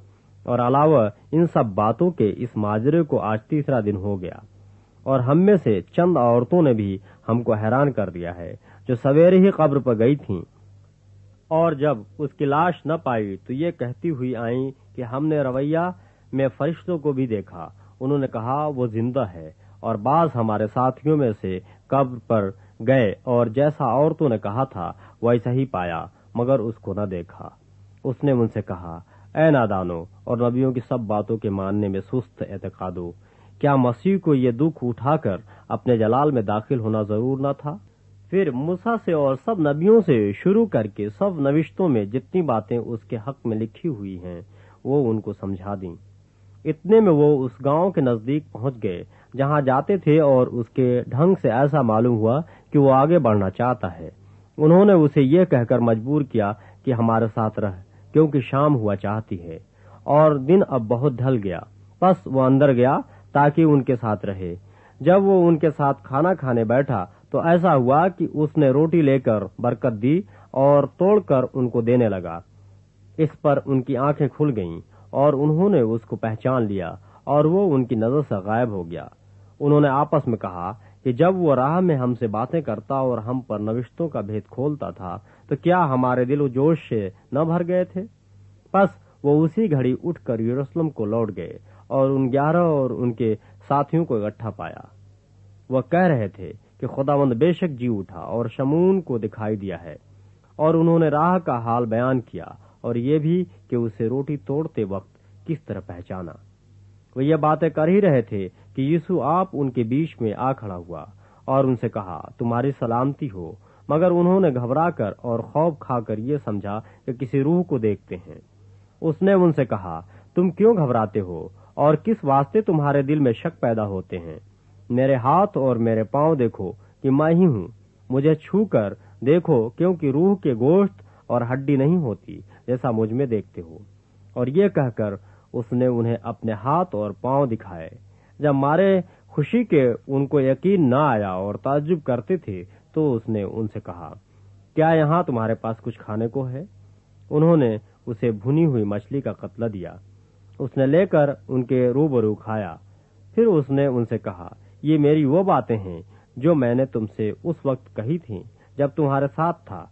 कि ज़रूर है कि जितनी बातें मूसा की तौरेत और नबियों के सहीफों और जबूर में मेरी बाबत लिखी हैं, पूरी हों। फिर उसने उनका जहन खोला, ताकि किताब मुकद्दस को समझें, और उनसे कहा, यूँ लिखा है कि मसीह दुख उठाएगा और तीसरे दिन मुर्दों में से जी उठेगा, और यरूशलेम से शुरू करके सब कौमों में तौबा और गुनाहों की माफ़ी की मनादी उसके नाम से की जाएगी। तुम इन बातों के गवाह हो और देखो जिसका मेरे बाप ने वादा किया है। मैं उसको तुम पर नाजिल करूँगा। लेकिन जब तक आलम बाला से तुमको कुत का लिबास न मिले, इस शहर में ठहरे रहो। फिर वो उन्हें बैतनिया के सामने तक बाहर ले गया और अपने हाथ उठाकर उन्हें बरकत दी। जब वो उन्हें बरकत दे रहा था तो ऐसा हुआ कि उनसे जुदा हो गया और आसमान पर उठाया गया। और वो उसको सिजदा करके बड़ी खुशी से यरूशलेम को लौट गए। और हर वक्त हैकल में हाजिर होकर खुदा की हमद किया करते थे।